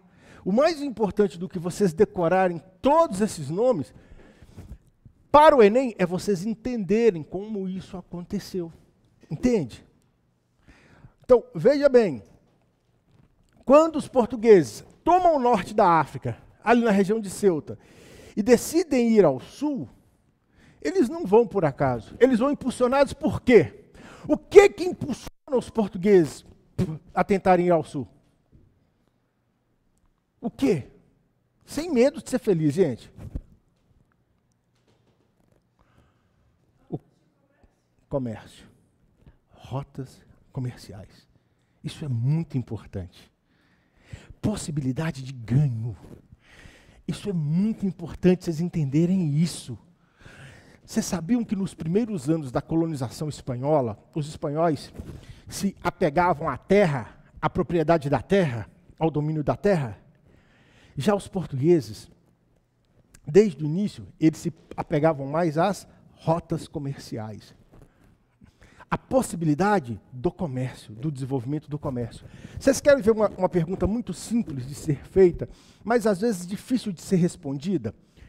Qual foi a maior conquista para os portugueses no final do século XIV início do século XV. Lembrando, século XIV acaba em 1400, em 1500, e o século, eh, o final do século XIV, perdão, a principal eh, eh, conquista para os portugueses no final do século XV e início do século XVI, não XIV. Final do século XV início do século XVI. O século XV acaba em 1500 e o século XVI começa em 1501. Então, nesse período ali, no final do século XV, início do século XVI, no período em que o Brasil estava sendo né, encontrado, a gente não usa mais o termo descoberto, agora a gente fala encontrado. Qual foi, o, ah, para os portugueses, naquele momento, a sua grande vitória?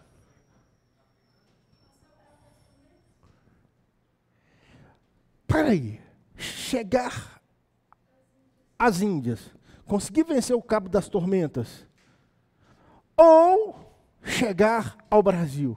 Qual desses dois pontos foi mais importante para os portugueses naquele período? Exatamente, chegar às Índias. Porque chegar às Índias, isso significava para os portugueses o domínio, a conquista de uma grande rota comercial. Eu estou falando no final do século XV, início do século XVI. Naquele exato momento, esse era o grande objetivo português. Percebam que os portugueses, eles sempre foram mais apegados, nesse início de organização colonial, ao domínio de rotas comerciais. Enquanto a Espanha, nesse mesmo período, estava mais preocupada com o quê? Com o domínio territorial, com a posse de territórios. Entendem isso? Percebem isso? Isso, é, isso tem uma lógica.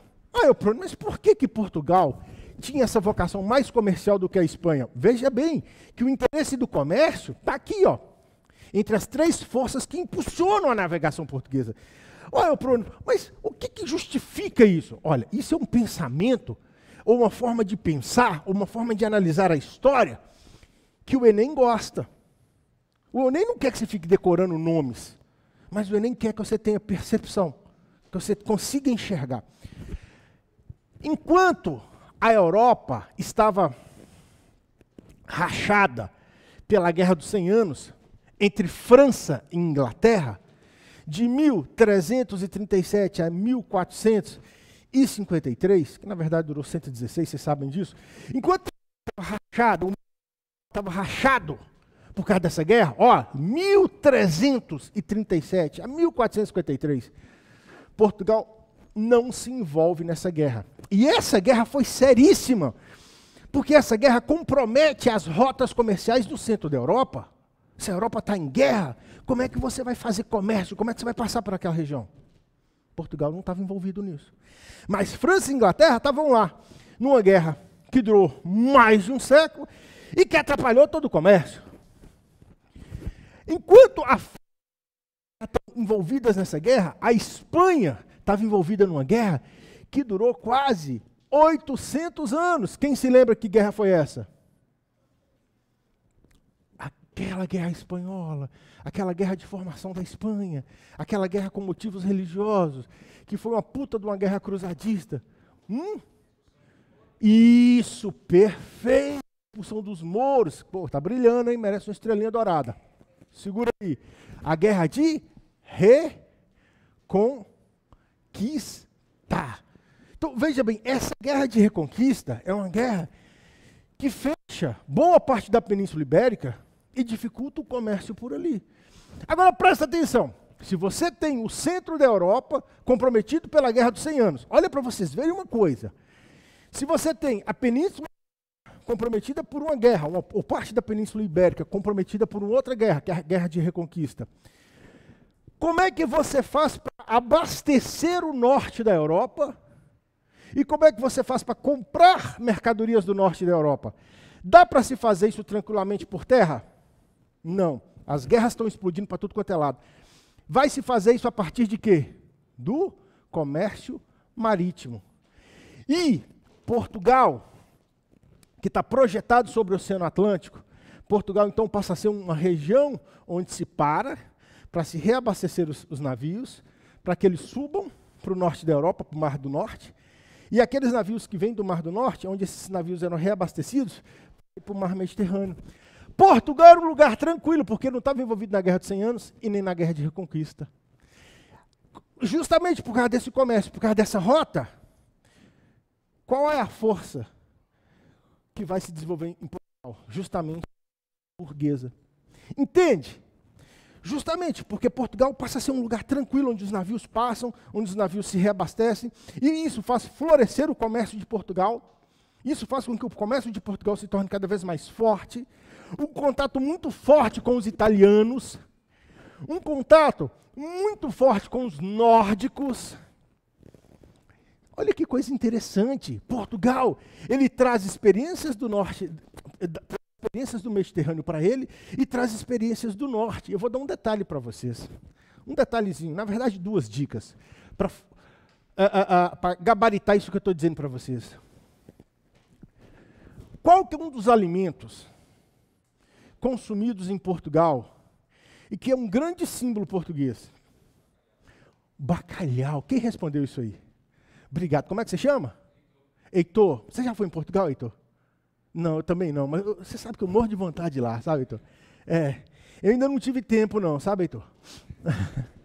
o meu tempo me levou no máximo à Argentina. A Argentina eu já fui lá, eu tive tempo para ir lá, fiz um mestrado lá e tal. Mas eu estou precisando de um tempo muito maior para fazer uns estudos em Portugal. Cara, o bacalhau, ele faz parte do, do- do cardápio português. Olha que coisa interessante. Agora, vocês sabiam de uma coisa? O bacalhau é um tipo de pescado que não tem em Portugal. Os principais bacalhau, o principal bacalhau que é consumido em Portugal nem é produzido em Portugal. Sabe de onde é que eles vêm? Do norte. Os portugueses passaram a consumir o bacalhau, que é um, um peixe, né, que é típico da Noruega, da Finlândia, da Suécia, da Península Escandinávia. Agora vocês querem ver outra coisa muito louca? Qual é um dos principais produtos que vai fazer com que a economia portuguesa se desenvolva, para além do comércio com as Índias? Produto esse que os portugueses vão implementar no Brasil e que vai gerar grande riqueza para os portugueses, né, aqui no Brasil. Vai ser um dos principais produtos do período colonial brasileiro e é um produto importante para nós até hoje um, um produto específico que era fabricado, que era produzido. O primeiro produto produzido no Brasil. Posso dar uma dica? Vamos lá? Vou dar uma dica. Algo que era produzido aqui no Brasil, de uma importância econômica fantástica. Começa com A e termina com açúcar. Pô, uma dica de nada, vocês já pegaram, vocês estão bem, hein? Cara, olha para você ver que coisa de doido. O açúcar. O açúcar foi o principal produto da economia colonial brasileira. Vocês sabiam que o açúcar trouxe mais riquezas para o Brasil durante todo o do que o ouro e do que o diamante? Sim, é, porque o ouro e o diamante foram muito fortes no século XVIII. O açúcar, desde o século XVI, é um produto importante. Mas aguenta a mão que depois nós vamos falar do açúcar. Agora, vocês sabem quem criou o açúcar? Quem desenvolveu o açúcar? Olha para você ver que coisa de doido. Os árabes. Qual é o problema? Para aí. Aí, E daí Portugal com os árabes? Foi através dos árabes que os portugueses aprenderam a produzir açúcar? Não! Os portugueses aprendem a produzir açúcar com os italianos, que por sua vez tinham forte relação com os árabes. Vocês lembram daquele comércio do mar Mediterrâneo que era dominado pela cidade de Gênova e de Veneza? Lembram disso? Ó, a forte relação. A Itália, gente. Os portos italianos eles eram importantes para quem saía da Europa e ia para o Oriente Médio. Não só para o norte da África, mas para o Oriente Médio. Os principais produtos do Oriente Médio, eles saíam pelo porto de Alexandria, no Egito, e pelo porto de Istambul, onde hoje é a Turquia, e vinham para Gênova e Veneza. Então, esse contato que os italianos tinham com os, com os árabes fez com que os, os italianos aprendessem a produzir o açúcar. E isso vai permitir aos portugueses, porque tinha um grande contato com os genoveses, com os venezianos, a aprender a produzir o açúcar. Então, são duas coisas importantes que mostram para vocês que Portugal, já no final do século XV, início do século XVI, era uma nação cosmopolita. O que, que é isso, Prone? Estava aberta para o mundo daquela época. Portugal não estava em guerra. Isso fez com que o comércio português se desenvolvesse, se desenvolvesse muito. E isso fez com que a igreja em Portugal fosse importante, mas a burguesia em Portugal também fosse muito importante. Vocês entendem isso? Essa percepção do que eu estou falando para vocês é muito mais importante do que vocês entenderem cada um dos períodos das grandes navegações. Ah, quando os portugueses chegaram em Ceuta, ah, quando os portugueses venceram o cabo de do Borjador, ah, quando os portugueses chegaram no, cabo das tormentas, cabo das boas, da, da, da Boa Esperança, ah, quando os portugueses tocaram a Índia, é, os, Gil- os navegadores Gilhenães, ah, eh, Bartolomeu Dias, ah, Vasco da Gama. Muito mais importante que vocês decorarem datas é vocês compreenderem a complexidade disso tudo. E é isso nem tem cobrado. Entendem? Percebem? E daí, dessa necessidade portuguesa de controlar o comércio, de expansão no comércio pelo litoral africano, isso ainda no século XV, da necessidade portuguesa de chegar até as Índias. Sabe como que essa necessidade portuguesa diz, opa, para aí, nós já descemos o litoral africano até aqui. E olha que o pessoal da Europa não conhecia muito bem o que tinha do Saara para baixo. Quem foi descobrindo isso foram os portugueses. E um detalhe muito importante: eram navegações, eram viagens secretas. Tanto que um navegador, quando ele recebia um mapa do rei, para ir até um ponto X, descer no litoral africano, aquele navegador, ele tinha que chegar àquele ponto, que o último navegador tinha ido, ele tinha que ir mais além, ele tinha que construir toda aquela rota, e em segredo, ele voltava e entregava para o rei português.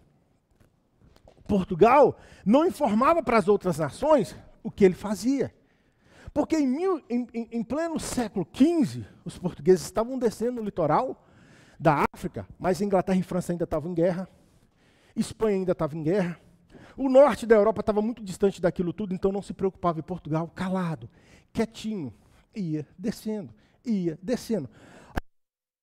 Os outros reis ali próximos a Portugal tinham até notícia de- do que os portugueses estavam fazendo, mas não tinham a certeza, não tinha claridade, não tinha a visão que os portugueses tinham.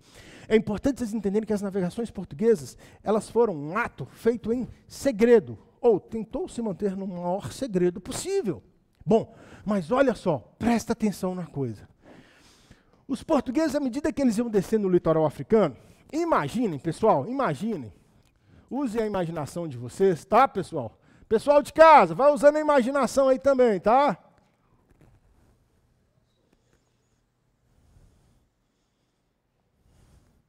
O que, que é isso? A África. Ah, tá vendo? E tem gente que fala que meu desenho não é legal. É legal sim. Tá faltando a imaginação na cabeça suas.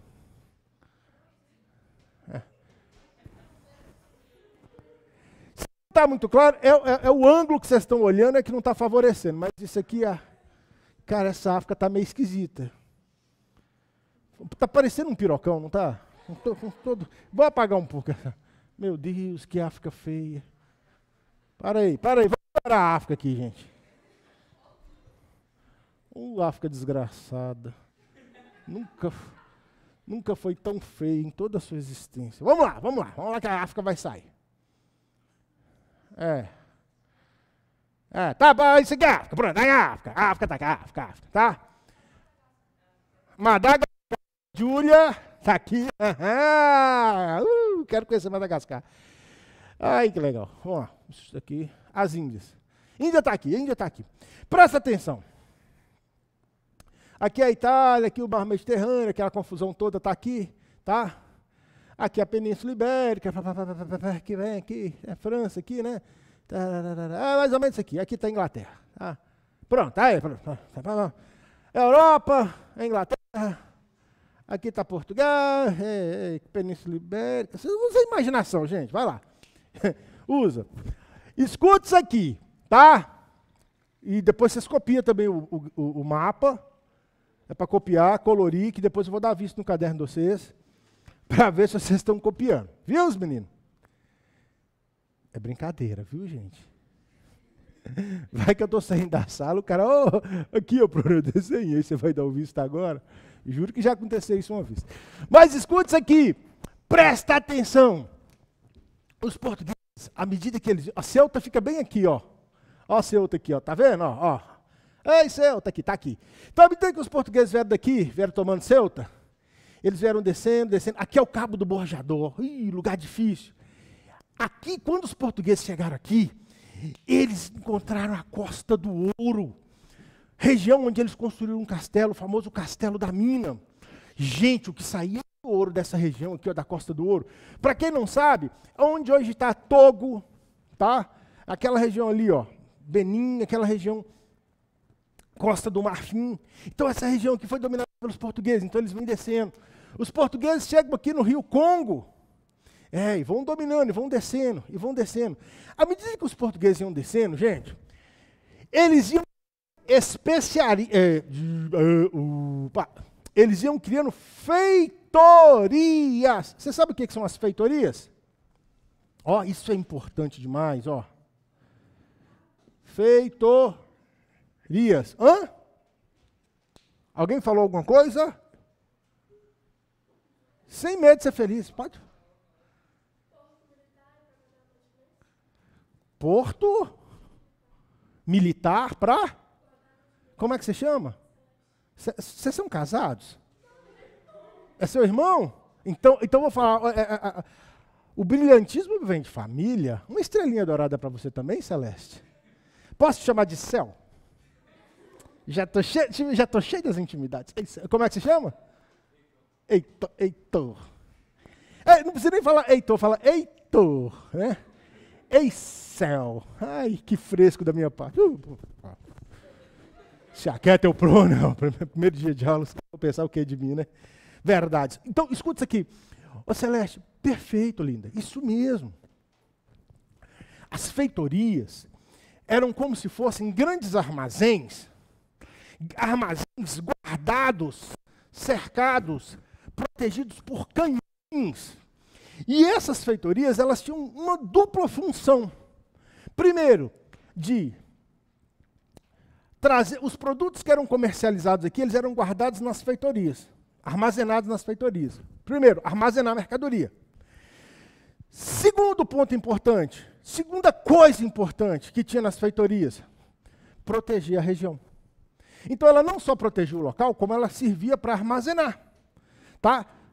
Todo o fruto do comércio com essa região, porque à medida que eles foram descendo aqui, eles foram desenvolvendo um comércio nessa região. E passaram a dominar o comércio. E aí, rota. Mas qual que era o grande objetivo português, gente? Falei para mim. Era, já a partir de metade do século XV, era conseguir, opa, continuar aqui com o preto, era cons conseguir fazer a volta aqui, chegar e chegar até as Índias, até as Índias. Bartolomeu Dias, em 1488, conseguiu fazer aqui a volta no Cabo das Tormentas, também conhecido como Cabo das, da Boa Esperança.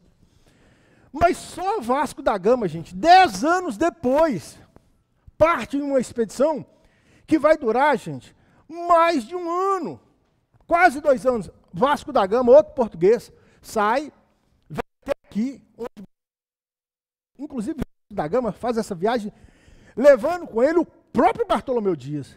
Daqui eles passam, pela primeira vez, tocam o Oceano Índico, sequestram marinheiros aqui na costa da África, sequestraram, tá? E conseguiram chegar então até a região das Índias. Essa era a região das Índias. Beleza? Entendem por que, que os portugueses então se dedicam a achar a rota para as Índias? Por volta de 1400 fundado, por volta de 1453. Os turcos, o grande, o poderoso Império Turco, domina essa região aqui, ó. E os turcos proíbem os europeus de virem fazer comércio aqui. Os turcos, vezes italianos viessem fazer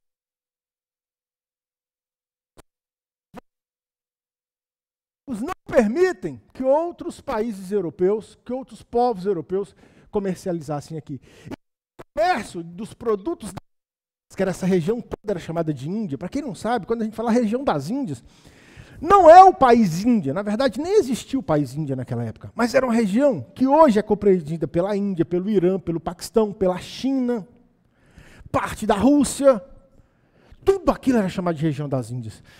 E essa região passa a ser dominada pelos turcos, que só permitem que genoveses e italianos comercializassem aqui, pegassem esses produtos para vender na Europa. Vem cá. Escuta uma coisa e prestem atenção numa coisa. Como é que você chama? Emily. Emily, ah, qual que você acha que é um preço médio de uma boa calça feminina aqui em Montes Claros? Uma boa calça. 110 é um preço médio, não é? Tem muita gente que vende calças femininas em Montes Claros, Emily? Tem, gente pra caramba. Emily, imagina que o pessoal de Bocaiúva domine a estrada, lá no pedágio, e fala: olha, não vou deixar passar aqui mais não. Só vai passar por aqui quem eu quiser. E o pessoal de Bocaiúva fala assim: Ô Emily, gostamos de você. Gostamos de você. Achamos você uma pessoa gente boa. Qual o time que você torce? Nós gostamos demais de você. você. é- Olha que menina bonita e inteligente. Olha para você ver. Tá vendo por que, que eles gostaram de você? E eles vão dizer o seguinte: olha, Emily, nós aqui de Bocaiúva dominando tudo, dominando tudo. Só quem vai poder passar aqui, ó, para comprar produtos, vai buscar produtos lá de Belo Horizonte para vender, aqui em Montes Claros, é você. Aí você fala, vou comprar calça. Só você vai poder em Belo Horizonte comprar calça.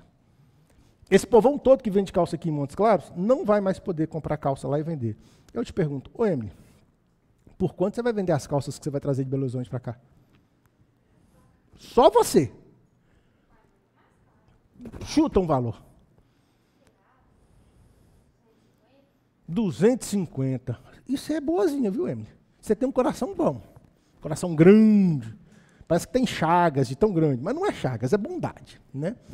Eu, se a calça era 110, ia vender por 1.500. Ah, só eu que tenho condição de comprar a calça e vender. Se você quiser, você compra. Se não quer, anda peladão, com os trem tudo de fora balangando. Você está entendendo? Entendeu isso, Emily? Isso que eu estou dizendo para vocês é o que ocorre quando Gênova e Veneza passa a ter o privilégio dado pelos turcos de só eles poderem comprar produtos aqui da região das Índias. O que, que Gênova e Veneza fazem com o preço dos produtos? Vup, joga lá para cima. E aí, só que aí tem um grande lance. Não dá mais passar por Bocaiúva. E você domina o comércio de calça, você domina o comércio de, calça, de calçado, você domina o comércio, sei lá, de capacete. Estou inventando, estou inventando, estou inventando. Você domina o comércio de, de bala, chocolate, isso é bom, um comércio bom. Tá? O, só vocês que passam por aí, então vocês vão cobrar muito, e muito e muito caro. Só que tem um grande lance. Como é que você chama? Radija, Ixalá. Não, é o quê? Xalá, do mesmo jeito. ah, eu estava doido para falar isso. eu tava... Foi mal, foi mal. Uh, isso. Manifestação explícita de frescura minha. A Cadija, sabe o que ela faz? Enquanto ela está vendo vocês cobrarem caro pra caramba por esse comércio aqui, ela está caçando um jeito de chegar a Belo Horizonte sem passar por aqui por Bocaiúva. Por um lugar que ninguém nunca foi. Por um lugar totalmente novo. Por um, um lugar que ninguém sabia que existia. Sequer tinha uma noção. Ela está tentando ir para Belo Horizonte, mas passando por aqui, ó, por Pirapora. É um caminho muito mais longo, muito mais difícil. Só que depois de muito tentar, a Cadija consegue. Então, essa foi a grande sacada portuguesa. Quando os portugueses estão mais ou menos no norte da África, que eles percebem que o comércio aqui, do mar Mediterrâneo, é trancado pelos turcos, e os turcos dão a autorização de comércio apenas aos genoveses e venezianos, ok? Os turcos para nós aqui são o pessoal de Bocaiúva. Genoveses e venezianos são vocês que tiveram o privilégio para ir lá comprar e vão vender tudo bem mais caro. Assim como a Cadija, os portugueses vão tentar buscar uma outra alternativa. Uma alternativa mais difícil, mas eles vão tentar e vão não só encontrar esse caminho, mas vão proteger muito bem esse caminho com as suas territorias. E até que eles chegam às Índias. E quando eles chegam às Índias, os produtos que saíam dessa região aqui, que era vendido para uma pessoa aqui, depois revendido para outra pessoa aqui, depois revendido para outra pessoa aqui, depois revendido para outra pessoa aqui, que daqui era revendido geno- genoveses e venezianos. Imagina, esses produtos que eu passando de mão em mão, até serem revendidos pelos genove- para os genoveses e venezianos, e chegar na Europa e lá tinha um preço muito mais alto, o que, é que os portugueses vão fazer? Eles vão passar a vir aqui comprar diretamente da fonte. Hum. Uma pergunta que eu sempre faço. Vocês sabem de quanto era o lucro médio que os portugueses conseguiam ter em alguns produtos depois que eles chegam às Índias? Heitor, joga essa bola mais para cima. O lucro médio em muitos produtos circulava, Heitor, entre 5 mil e 6 mil por cento. Você sabe o que, que é isso? Eu vou dar uma dica para vocês, só para vocês entenderem o que, que é isso. Imagina que você tenha uma moeda de 50 centavos e você desce ali embaixo com essa moeda de 50 centavos e compra um chiclete. Que bairro que você mora, Heitor? Que região de Montes Claros? Perto do? Sim, sei. Só que é, é ali embaixo, perto da, a, a, perto da Praça Esporte, não é? Isso, é. Mas imagina que você vai comprar um chiclete por 50 centavos. Só que o que você faz? Você vai lá no Edgar Pereira, você compra um chiclete aqui por 50 centavos, e vai lá no Edgar Pereira e vende esse chiclete por 30 reais. Isso é um lucro de cerca de 6 mil por cento. Você entende? Aí eu te pergunto, se você comprar um chiclete aqui no centro por 50 centavos e chegar lá na frente e vender por 30 reais, dá para ganhar dinheiro? Aí você vai voltar aqui e comprar outro chiclete? Não. Você vai comprar uma caixa de chiclete, né? E vai vender. Aí daqui a pouco, você vai chegar aqui com, com uma bicicleta cargueira para levar duas caixas de chiclete, é ou não é? E vai vender. Aí daqui a pouco você chega de Kombi, fi. Combosa. E enche e vai vender. Vocês estão entendendo de quanto chegou a ser, naquele momento áureo, o lucro do comércio português? É exatamente nesse momento que o Brasil tem que, tem que aparecer para Portugal. Porque na cabeça dos portugueses, olha o que, que circulava na cabeça dos portugueses, olha o que, que eles pensavam. Estamos descendo, estamos quase chegando às Índias. Antes de chegar às Índias, eles já sabiam que eles estavam há pouco tempo, há pouco, ah, sabe, ah, em- em- dentro de pouco tempo eles chegariam lá. Eu vou te passar a palavra, minha linda, vou te passar. Então, aos portugueses, a estratégia só seria completa se eles dominassem esse lado de cá do oceano e se eles dominassem o outro lado do oceano. E é aí que o Brasil surge. Fala, minha linda.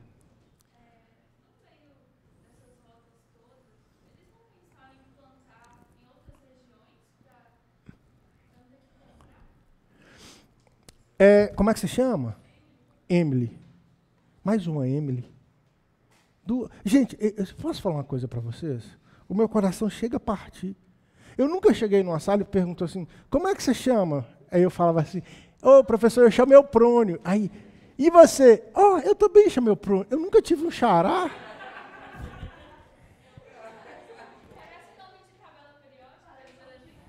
Ah, ah, ah. Eu, eu dou recuperação a você. Viu? O tanto que eu já ouvi argônio, neônio, criptônio, euprônio. O tanto que eu já ouvi, vamos. eu tinha ódio de português. Eu, prônio, tu, prônios, ele, prônio, nós, prônio. Ah, pra puta que eu tinha ódio de português. De que nunca gostei de português, de que. Por quê? Mas, Emily, voltando à origem da sua pergunta, que é muito interessante, o grande lance é o seguinte: nesse momento, os portugueses, o grande lance deles não era plantar. Não que eles não fizessem isso, faziam, tá, Emily? É porque, mesmo aqui na África, ao contrário do que a gente pensa, tinha muita especiaria. O que, era especiaria? Eram produtos que tinham importância comercial. Né? Chás, ervas, sementes, castanhas. Né? Aqui, na, aqui nas Índias, nossa, como tinha especiarias. Mas aqui, ó, na Ásia, aqui na região onde está a Malásia, onde está a Indonésia, né, as, as Molucas, aqui mais aqui no, no Oriente também tinha muita especiaria. Tá? Isso tudo tinha muito valor, especiaria. À medida que os portugueses iam tomando esse território, eles não estavam preocupados em criar fazendas para produzir lá, para vender na Europa. Não, não era isso era ver o que, que ali tinha de legal, se tinha principalmente diamante, ouro e prata, outros produtos interessantes para se levar para a Europa para produzir lá. E aí a gente tem que levar- le- lembrar de uma coisa: nem tudo que você produz aqui, nessa região, você consegue produzir na Europa. A questão de clima, né? a questão de adaptação. E os portugueses na África, eles vão produzir sim. Vai, vai ter produto que eles vão produzir. Por exemplo, lembra do açúcar? Lembra da produção da cana? Que foi o primeiro produto a ser produzido no Brasil? Ah, é o problema, mas não foi a- a- o pau-brasil. Não, o pau-brasil ele foi tirado. Ocorreu com o pau-brasil que a gente chama de extrativismo, ele foi arrancado daqui. Mas produzido foi o açúcar. Os portugueses vieram, trouxeram a cana, prepararam o plantio da cana, depois prepararam os engenhos, e aí faziam a produção do açúcar. Entende? O pau-brasil, extrativismo. O açúcar, produção. Tá? Então, já nessa época, os portugueses produziam sim açúcar. Mas sabe por que, que eles produziam açúcar? Porque, gente, o açúcar era um produto tão caro, mas tão caro, mas tão caro nessa época, que há relatos de que durante casamentos ou em festas de casamentos de reis ou de pessoas muito chiques, os convidados mais ricos levavam caixinhas feitas de madeira ou de metal, caixinhas cheias de pedras preciosas, e essas caixinhas, chamadas de bolsetas, elas eram cheias de açúcar. E davam isso como presente. E o, e o- e o grande valor não estava nas pedras preciosas ou no metal que era feita a caixinha. Não. O grande valor estava naquilo que ia lá dentro, que era o açúcar. Quem começou a produzir o açúcar? Os árabes, os italianos, que foi produzido aqui no, no sul da Itália, mas quem já começa a aumentar a produção do açúcar? Os portugueses, principalmente na costa da África. E os portugueses usaram de um sistema que os próprios africanos já dominavam esse sistema. Um sistema de trabalho, que é o escravismo. Os próprios africanos já tinham o hábito de escravizar tribos inimigas e de vender né, esses inimigos, e de vender e de comercializá-los. Né? Os portugueses, percebendo isso, o que, que eles fazem? Os portugueses começam a dominar as ilhas do litoral africano, as ilhas, compravam os escravizados aqui na África e levavam para as ilhas, para lá produzir o açúcar. Por que, que levavam para as ilhas? Porque se você tenta produzir aqui, a possibilidade daquele escravizado fugir e voltar para o povo dele era maior. Mas se você leva ele para as ilhas, é mais difícil para ele fugir dali. Entende? Então os portugueses começam a organizar todo o sistema de escravidão de comércio para as ilhas e de produção de açúcar.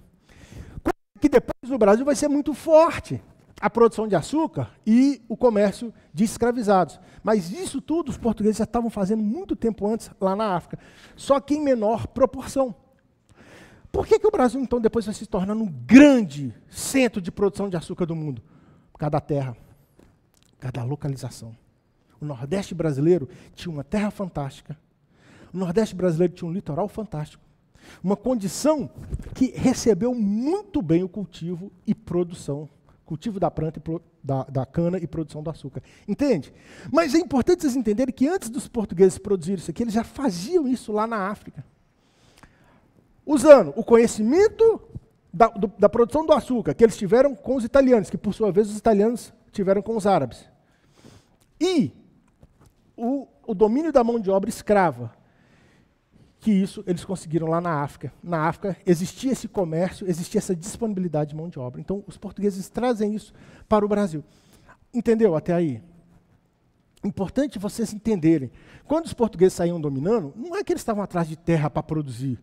Não, o que eles estavam atrás era de produtos importantes que eles pudessem levar para comercializar em Portugal, comercializar na Europa, tá? A partir de Portugal. E também, a partir de 1453, eles começam então a focar nessa passagem daqui para cá. E é aí que o Brasil vai surgir. Porque os portugueses sabiam que se eles achassem essa rota e chegassem até aqui, eles iam dominar um comércio que era lucrativo. É ou não é, Heitor? Já parou para pensar quantos chicletes você ia comprar para vender lá no Edgar Pereira? Ia sair com os bolsos cheios, né, Heitor? Pois é. Só que, Heitor, imagina você descobre essa mina. Pô, vou comprar chiclete aqui e vou levar lá e vou vender. Pô, vou ganhar um dinheirão. Pô, mas você está preocupado. Porque se outras pessoas descobrirem onde você está comprando chiclete, vai querer vir comprar o chiclete aqui também. Entende? Você precisa proteger a sua rota. Você precisa proteger seu comércio. Você não quer deixar que outros caras venham comprar seu chiclete para ganhar um dinheiro que é seu. Né? E se de repente tiver mais pessoas vendendo, o seu lucro cai, porque tem concorrência. É ou não é? Qual é o lance dos portugueses? Essa rota aqui eu domino. Se algum navio concorrente tentar passar por aqui, nós afundamos. Por que, que nós afundamos? Gente, em pleno século XV, nenhum navio tinha condição de sair da Europa fazer essa viagem e chegar até aqui. Era uma viagem que só para você sair daqui e chegar até aqui era quase um ano. Você precisava parar, você precisava reabastecer o navio, pegar alimento, pegar água. Era muito cansativo. Então você tinha que ir parando no litoral. Quem dominava esse litoral com as feitorias? Os portugueses. Então os portugueses sabiam, qualquer navio inimigo que tentar passar, a gente afunda, do lado de cá. Mas os portugueses tinham uma preocupação. E se houver terra do lado de cá? E se do lado de cá houver terra? Os inimigos podem sair, achar terras do lado de cá, se estabelecer nessas terras, para reabastecer seus navios, para tentar fazer essa volta. Está entendendo? Então foi por isso que a partir de 1480, o rei Portugal, de Portugal, o rei português, ordenava que toda vez que um novo navio português fosse descer ao sul, o navio fosse fazendo rotas cada vez mais assim, ó. Ó. Para que isso? Para tentar descobrir qualquer terra, qualquer ilha, qualquer região que pudesse ser um porto seguro para os navios concorrentes, navios inimigos. Entendem? E está aí uma grande discussão. Antes de 1500, na cabeça portuguesa, o Brasil já existia. Ah, mas anunciaram para o mundo que descobriram o Brasil em 1500. Pois é. Mas uma discussão que se trava é que, muito antes da chegada de Pedro Álvares Cabral aqui em 1500, ele chega aqui e fala: Olha, oh, oh, oh, oh, descobrimos, não se usa mais o termo descobrir, né? Descobrimos uma terra, ó, oh, e vamos tomar essa terra em nome de Portugal. Muito antes disso. Acredita-se que os portugueses já sabiam da existência disso aqui. Aí você fala, eu, Bruno, se os portugueses, pelo menos 20 anos antes, já sabiam da existência desse território, por que, que eles não avisaram? Bom, aí tem um problema sério. Se você avisa, você vai chamar a atenção do mundo por uma navegação que você estava fazendo e estava tentando manter segredo. Isso não era legal. Se você avisa, você vai chamar a atenção do mundo por uma área que você não quer que o mundo tenha acesso, porque você quer garantir aquela rota. Entende? E, outra coisa, o primeiro homem, dentro do, da história ocidental, a chegar no continente africano, o primeiro homem dentro da visão ocidental a chegar no continente africano, foi um cara chamado Cristóvão Colombo. Já ouviu falar no Cristóvão Colombo? Quem falou africano? Para ver se vocês estão prestando atenção. Continente americano, tá vendo? Vocês passaram no teste. África.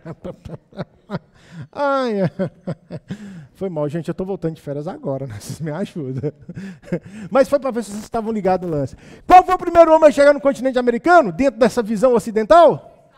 Cristóvão Colombo. Vocês sabiam que Cristóvão Colombo, que ele chega no continente americano, navegando pela Espanha, você sabia que ele não era espanhol? Você sabia que Cristóvão Colombo, antes de navegar para a Espanha, ele tinha navegado por Portugal? Cristóvão Colombo é genovês, ele é lá da região da Itália. Cristóvão Colombo ele era casado com uma portuguesa. É, ele chegou a fazer algumas dessas viagens para Portugal. Depois, ele chega até a Espanha e chama os reis da Espanha, Isabel de Castela e Fernão de Aragão. E fala: olha, os portugueses estão chegando às Índias. Eles estão fazendo a navegação para o sul, eles estão quase chegando lá. Agora eu tenho uma ideia: se a gente navegar pelo oeste, a gente dá a volta no mundo e chega às Índias antes de Portugal, no leste. Vocês estão entendendo? Naquele momento, era questão de uma corrida comercial. O governo espanhol banca Cristóvão Colombo. Só que ele chega, topa aqui na América Central, na região de Cuba, do Haiti, acha que chegou aonde? Nas Índias e volta. Coitado dele, não tinha chegado às Índias. Mas naquele momento, assim que o Colombo chega, navegando a Espanha, e toca, e pisa no continente americano, o que, que a igreja faz? A igreja, na época, o Papa era o Alexandre VI, um Papa espanhol. Ele cria um documento. Como é que chama o documento que o Papa criou, gente? Ó, bula nossa, está muito fácil dar aula para vocês. Vocês tudo merecem estrelinha dourada. Bula intercoetera, intercoetera. Ou bula intercetera. Bula intercoetera.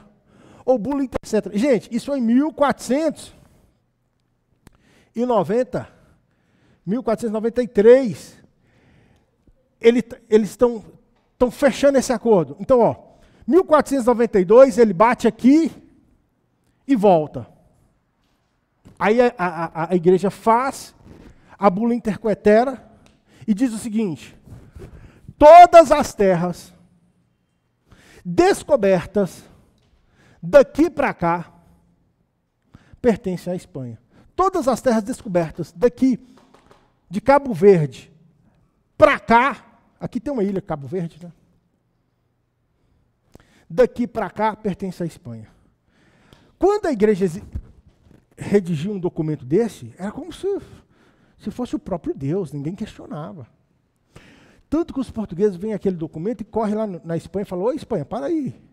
A igreja fez um documento dizendo que todas as terras de Cabo Verde para cá são suas, e para mim, Espanha, não tem nada não. A Espanha, então, faz um acordozinho com Portugal. Como é que chama o acordo que a Espanha vai fazer com Portugal? Que foi o primeiro tratado entre nações modernas? Tratado de Tordesilhas. Olha para você ver que coisa bonita, ó. Tratado. Oi. Quem fez essa pergunta mais bonitinha? Oi, Emily, você de novo. Oi, Emily. O Américo Vespúcio, já no final do século XV, ele questiona o Colombo. Você sabia que o Américo Vespúcio também era de origem italiana? Né? Ele fala, Colombo, você não chegou ao novo continente, às Índias. Oh, desculpa, você não chegou às Índias. Américo Vespúcio fala, você chegou ao novo continente.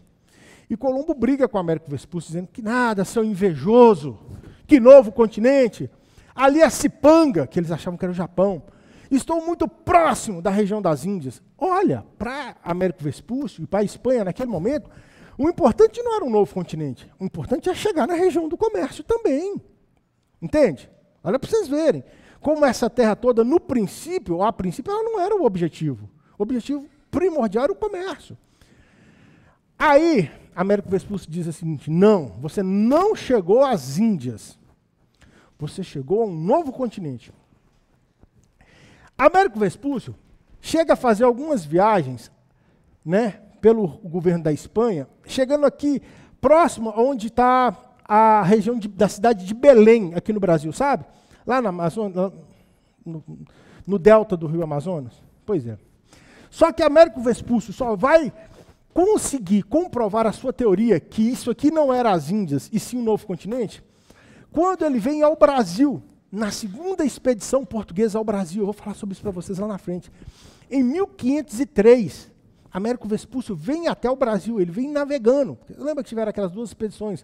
É, Gonçalo Coelho e Gaspar de Lemos, que são os, os dois que vêm a mando do rei de Portugal, para reconhecer esse território aqui que o Cabral tinha chegado e anunciado. Mas o rei de Portugal ainda não tinha noção do, do tamanho que era isso. Então, quando ele vem aqui, ele navega até o sul, até próximo da Argentina e volta com os navegadores portugueses. Américo Vespúcio então diz: Isso não é as Índias. Isso é um novo continente. Esse novo continente, durante muito tempo, ele foi chamado de Índias, Índias Ocidentais. A América, o que a gente hoje chama de América, ou continente americano, durante muito tempo foi chamado de eh, território das Índias Ocidentais. Só depois, lá no século XVIII, para o século XIX, é que, em homenagem a Américo Vespúcio, eles vão chamar esse continente de Américas. Entende? Então, está aí o momento de Colombo, está aí o momento de Américo Vespúcio. E o momento de Cabral é muito interessante. Veja bem, escuta aqui, presta atenção. Em 1493, quem tocou as Américas? Colombo, não foi? A igreja faz um documento reconhecendo que essas terras tudo pertenceriam a quem? A Espanha. Portugal vai até a Espanha para fazer um acordo com a Espanha. Precisava de um acordo com a Espanha. Gente, se teoricamente os portugueses não tinham chegado aqui, se teoricamente os portugueses ainda não tinham tocado aqui, se teoricamente os portugueses ainda não tinham chegado ao Brasil, por que, que eles vão brigar com a Espanha? Por que, que eles vão forçar um acordo com a Espanha? Você está entendendo? Aí, o governo português vai até a Espanha e tenta um acordo, dizendo: não, nós queremos um pedaço desse, desse território que a igreja garantiu para vocês. E aí a Espanha vai fazer um acordo com Portugal, chamado Tratado de Tordesilhas. Esse acordo, o Tratado de Tordesilhas, foi feito entre Espanha e Portugal, que dizia o seguinte: todas as terras, ó, aqui é intercoetera ou intercetera, ó, aqui é a bula, aqui é a bula, aqui é o tratado. Todas as terras entre a ilha de Cabo Verde e 370 léguas, todas as terras que existissem aqui, nesse pedaço de terra, ou nesse espaço aqui, pertenceria a quem? Portugal. Ao Tratado de Tordesilhas diz isso. E tudo que tivesse daqui para lá, pertenceria a quem? A Espanha. Aí você vai falar para mim, eu prônio. A Espanha não sabia que fazendo esse tratado com Portugal ia estar dando esse território aqui para Portugal? Não. Os espanhóis navegaram pelo norte. Quem é que naquela época sempre navegava pelo sul? Portugal. Entende? A Espanha não tinha conhecimento disso aqui. E aí acredita-se fortemente que os portugueses tinham conhecimento sobre isso aqui. Por isso que eles insistiram tanto em fazer um acordo em paralelo para a Espanha. Fizeram um acordo em paralelo para a Espanha, então eles tinham garantido que se houvesse terra aqui seria deles. Então pronto. Tá, Euprônio, mas o Tratado de Tordesilhas é de 1494. Por que, que eles só anunciaram o achamento do Brasil em 1500? Aí eu volto naquilo que eu já tinha dito para vocês. O objetivo de Portugal era anunciar isso aqui como território deles só depois que eles conseguissem chegar aqui. Porque do lado de cá eles dominavam. Ah, então eles precisavam vir aqui criar uma feitoria. Quem vai vir aqui criar uma feitoria? Pedro Álvares Cabral. Né? Dia 22 de abril de 1500, quando diz que sem querer teve um desvio de rota e parte daqueles navios chegou até a costa do Brasil, na região de Porto Seguro, e ali eles anunciam o descobrimento ou o achamento do Brasil. E quando Cabral chega aqui, em 1500, que ele pisa nessas terras, ele toma duas atitudes importantes. Uma em nome do rei, quando ele pega um, um poste, esses postes eram chamados de marcos demarcatórios. Ele pega um poste e finca esse poste ali no, litoral, dizendo: Isso aqui pertence ao rei de Portugal. E do lado desse poste de madeira, mais acima, ele manda fazer um altar e fazer uma cruz. E aí ele celebra uma missa. E aqui ele diz: se a terra pertence ao rei, tudo isso, mais a terra, pertence a, ao Deus, ao Deus católico. Então, olha, olha para você ver, é o Estado e a igreja. Coisa importante. O Brasil, nós somos um povo que a maior parte da nossa existência, Estado e igreja, sempre andaram juntos. Durante o período colonial brasileiro, que vai de 1500 até 1822, qual que era a religião oficial desse, desse território? Católica. De 1822, olha essa informação que eu estou dando para vocês, gente. Vocês pegam isso aqui e colocam no bolso de vocês. Ela é de uma importância absurda. De 1822 até a proclamação da República, lembra da proclamação da República?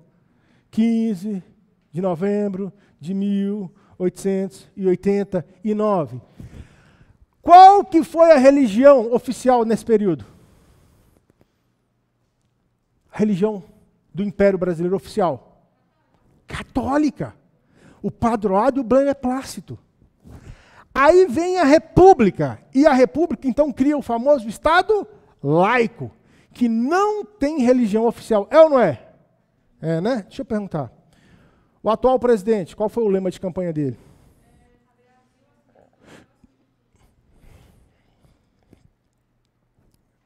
Como é que é mesmo? Aí eu pergunto, presta atenção. Politicamente falando, nós conseguimos desvincular a religião e o Estado? Eu não estou falando pelo atual presidente apenas, não. Você quer saber de uma coisa? Sim, os principais feriados que nós temos são feriados o quê? Religiosos, católicos. Quando você entra na maioria das autarquias públicas, muitas vezes você vê lá um crucifixo. Muitas vezes você vê lá a imagem de uma santa. Mas se o Estado é laico, por que isso? É porque essa herança religiosa, católica, cristã e hoje também protestante, ela está muito forte na gente até hoje. Esses anos de república não foram fortes o suficiente para acabar, para tirar de nós esse vínculo religioso. Vocês já viram a quantidade de políticos religiosos eleitos nesse país? Ou padres, ou pastores, não interessa. Mas vocês já viram a quantidade de políticos? Então, é importante demais a gente perceber isso. A herança religiosa, o Brasil, mesmo oficialmente se declarando um Estado laico, desde a Constituição de 1891, nós somos um Estado onde a forte presença da religião é percebida. E essa religiosidade, essa ligação Estado e Igreja, vem para a gente desde a chegada dos portugueses. Porque quando os portugueses saíram de lá, era o rei, a burguesia e quem mais? A igreja. Dá para vocês entenderem, dá para vocês perceberem, na nossa existência, a figura do rei, o Estado, a figura da igreja. E a figura da burguesia é perceptível? Sim. Durante o período colonial, a gente era o quê? Colônia de exportação, gente. A gente abastecia a metrópole, pacto colonial. Depois do sistema colonial, o Brasil, o maior produtor mundial de café. O Brasil, grande produtor mundial de algodão. O Brasil, grande exportador de borracha. O Brasil, grande exportador de fumo. Entende? Olha essa nossa vocação agrícola, exportadora, para abastecer principalmente as metrópoles europeias. E até hoje, o Brasil, até hoje, até hoje, o que, é que a gente muito produz e a gente muito exporta? Matéria-prima para abastecer principalmente quem está lá fora. Somos um grande exportador de minério de ferro para a China, de é, é, soja, de milho, de laranja, ah, mas de cimento, de matéria-prima, de commodities, de carne. Fala, minha linda.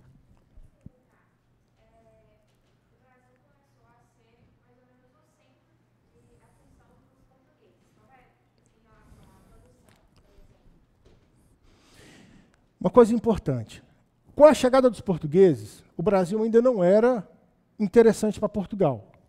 A chegada dos portugueses, a, a- a importância primeiro que o Brasil tinha era de garantir que nenhum país concorrente tentaria usar isso aqui como base para chegar até lá.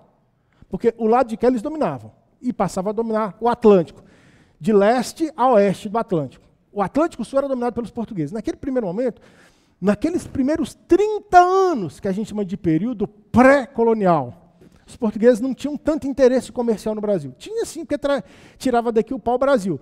Mas nada muito além disso. Nós vamos falar um pouco sobre isso. Até então, toda essa minha aula, todo esse meu bate-papo com vocês, é só para mostrar para vocês como é que o Brasil surge. Entende? Depois, na nossa próxima aula, eu vou falar de período pré-colonial. Aí nós vamos falar de período colonial de uma forma bem mais organizadinha. Aqui eu estou trazendo um pouco maior. Beleza? Nesse primeiro momentinho, o Brasil ainda não era tão importante para Portugal. Mas a partir de 1530, aí o Brasil se torna importante para Portugal e nós vamos entender por quê. Nunca, nunca. Você sabe até quando os portugueses tiveram domínio sobre territórios da África? Até quando? Até 1975. Talvez o seu pai ou a sua mãe tivessem nascendo mais ou menos nessa época. Tá? E outra coisa, o domínio português não era só sobre a África, não, era só até a Ásia. Você sabe até quando Portugal teve domínio na Ásia? Em 1975, Timor-Leste deixa de ser território português lá na Ásia. Fica ali no final da, da, da- Indonésia. E Timor-Leste se torna um país independente. Mas o último território de domínio português na Ásia foi Macau, que os portugueses devolvem para a China, que é um território chinês. Inclusive é uma cidade, uma região dentro da China, onde fala-se o português. Chama Macau. Em 1999, Macau foi devolvido para a China. Muito recentemente. Um- Além disso, Portugal teve Goa, Calicut, Dili, aqui na Índia, na região das Índias, que era território português. Entende? Obviamente, nesses últimos anos que eu falei para vocês, essas regiões não eram regiões tão ricas, tão poderosas quanto no início. Tá beleza? Mas o domínio português durou muito tempo sobre essas regiões. Tá?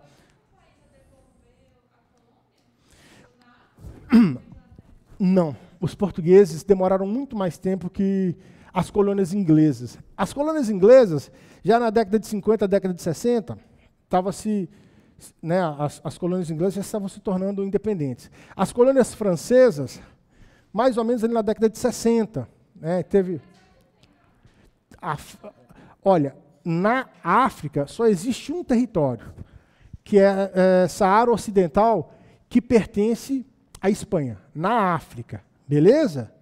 Agora, a França ainda tem territórios, por exemplo, você tem a Guiana Francesa, que é um território que pertence à França. Aqui na região do Caribe, ainda tem algumas ilhas que pertencem à Holanda, que pertencem à França, que pertencem à Inglaterra, ainda existem. Tá bom? Que fazem parte. Show de bola? Então há alguns territórios espalhados pelo mundo. Beleza? Mais alguma dúvida, pessoal?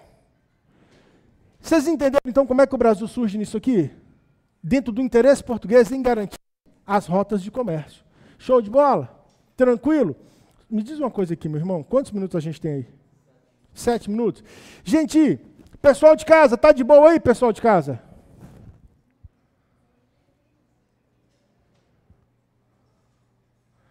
Ah, o áudio está falhando aqui.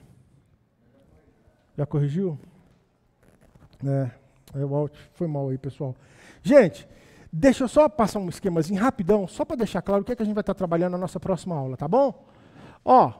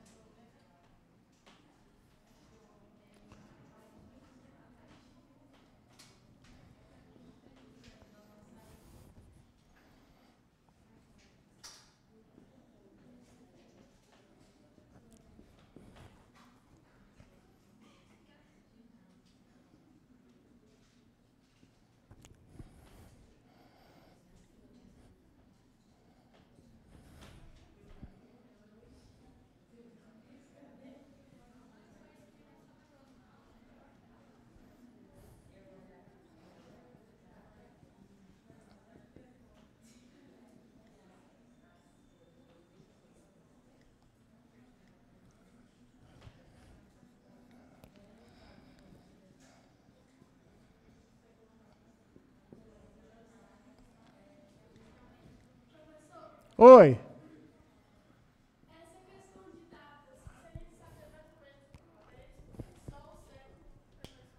Sim.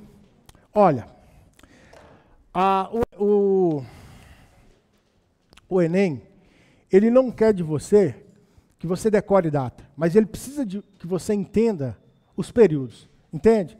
Tanto que quando eles colocam um texto, que vai falar sobre um tema específico, sobre um período específico, geralmente eles colocam ali, ó, as datas.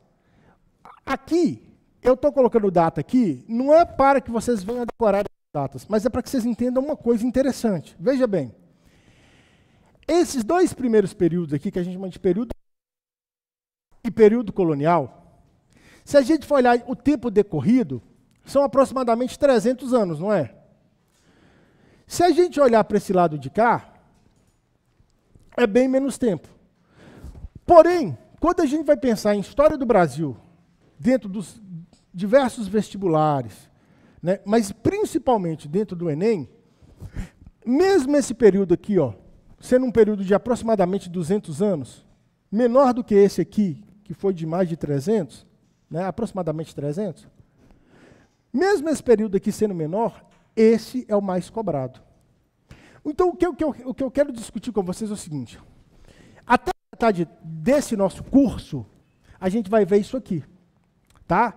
De uma forma muito discursiva. Eu vou estar discutindo, eu vou estar incomodando vocês o tempo inteiro, vou estar fazendo perguntinha. E, gente, pelo amor de Deus, gente, tiver dúvida, manda para cá.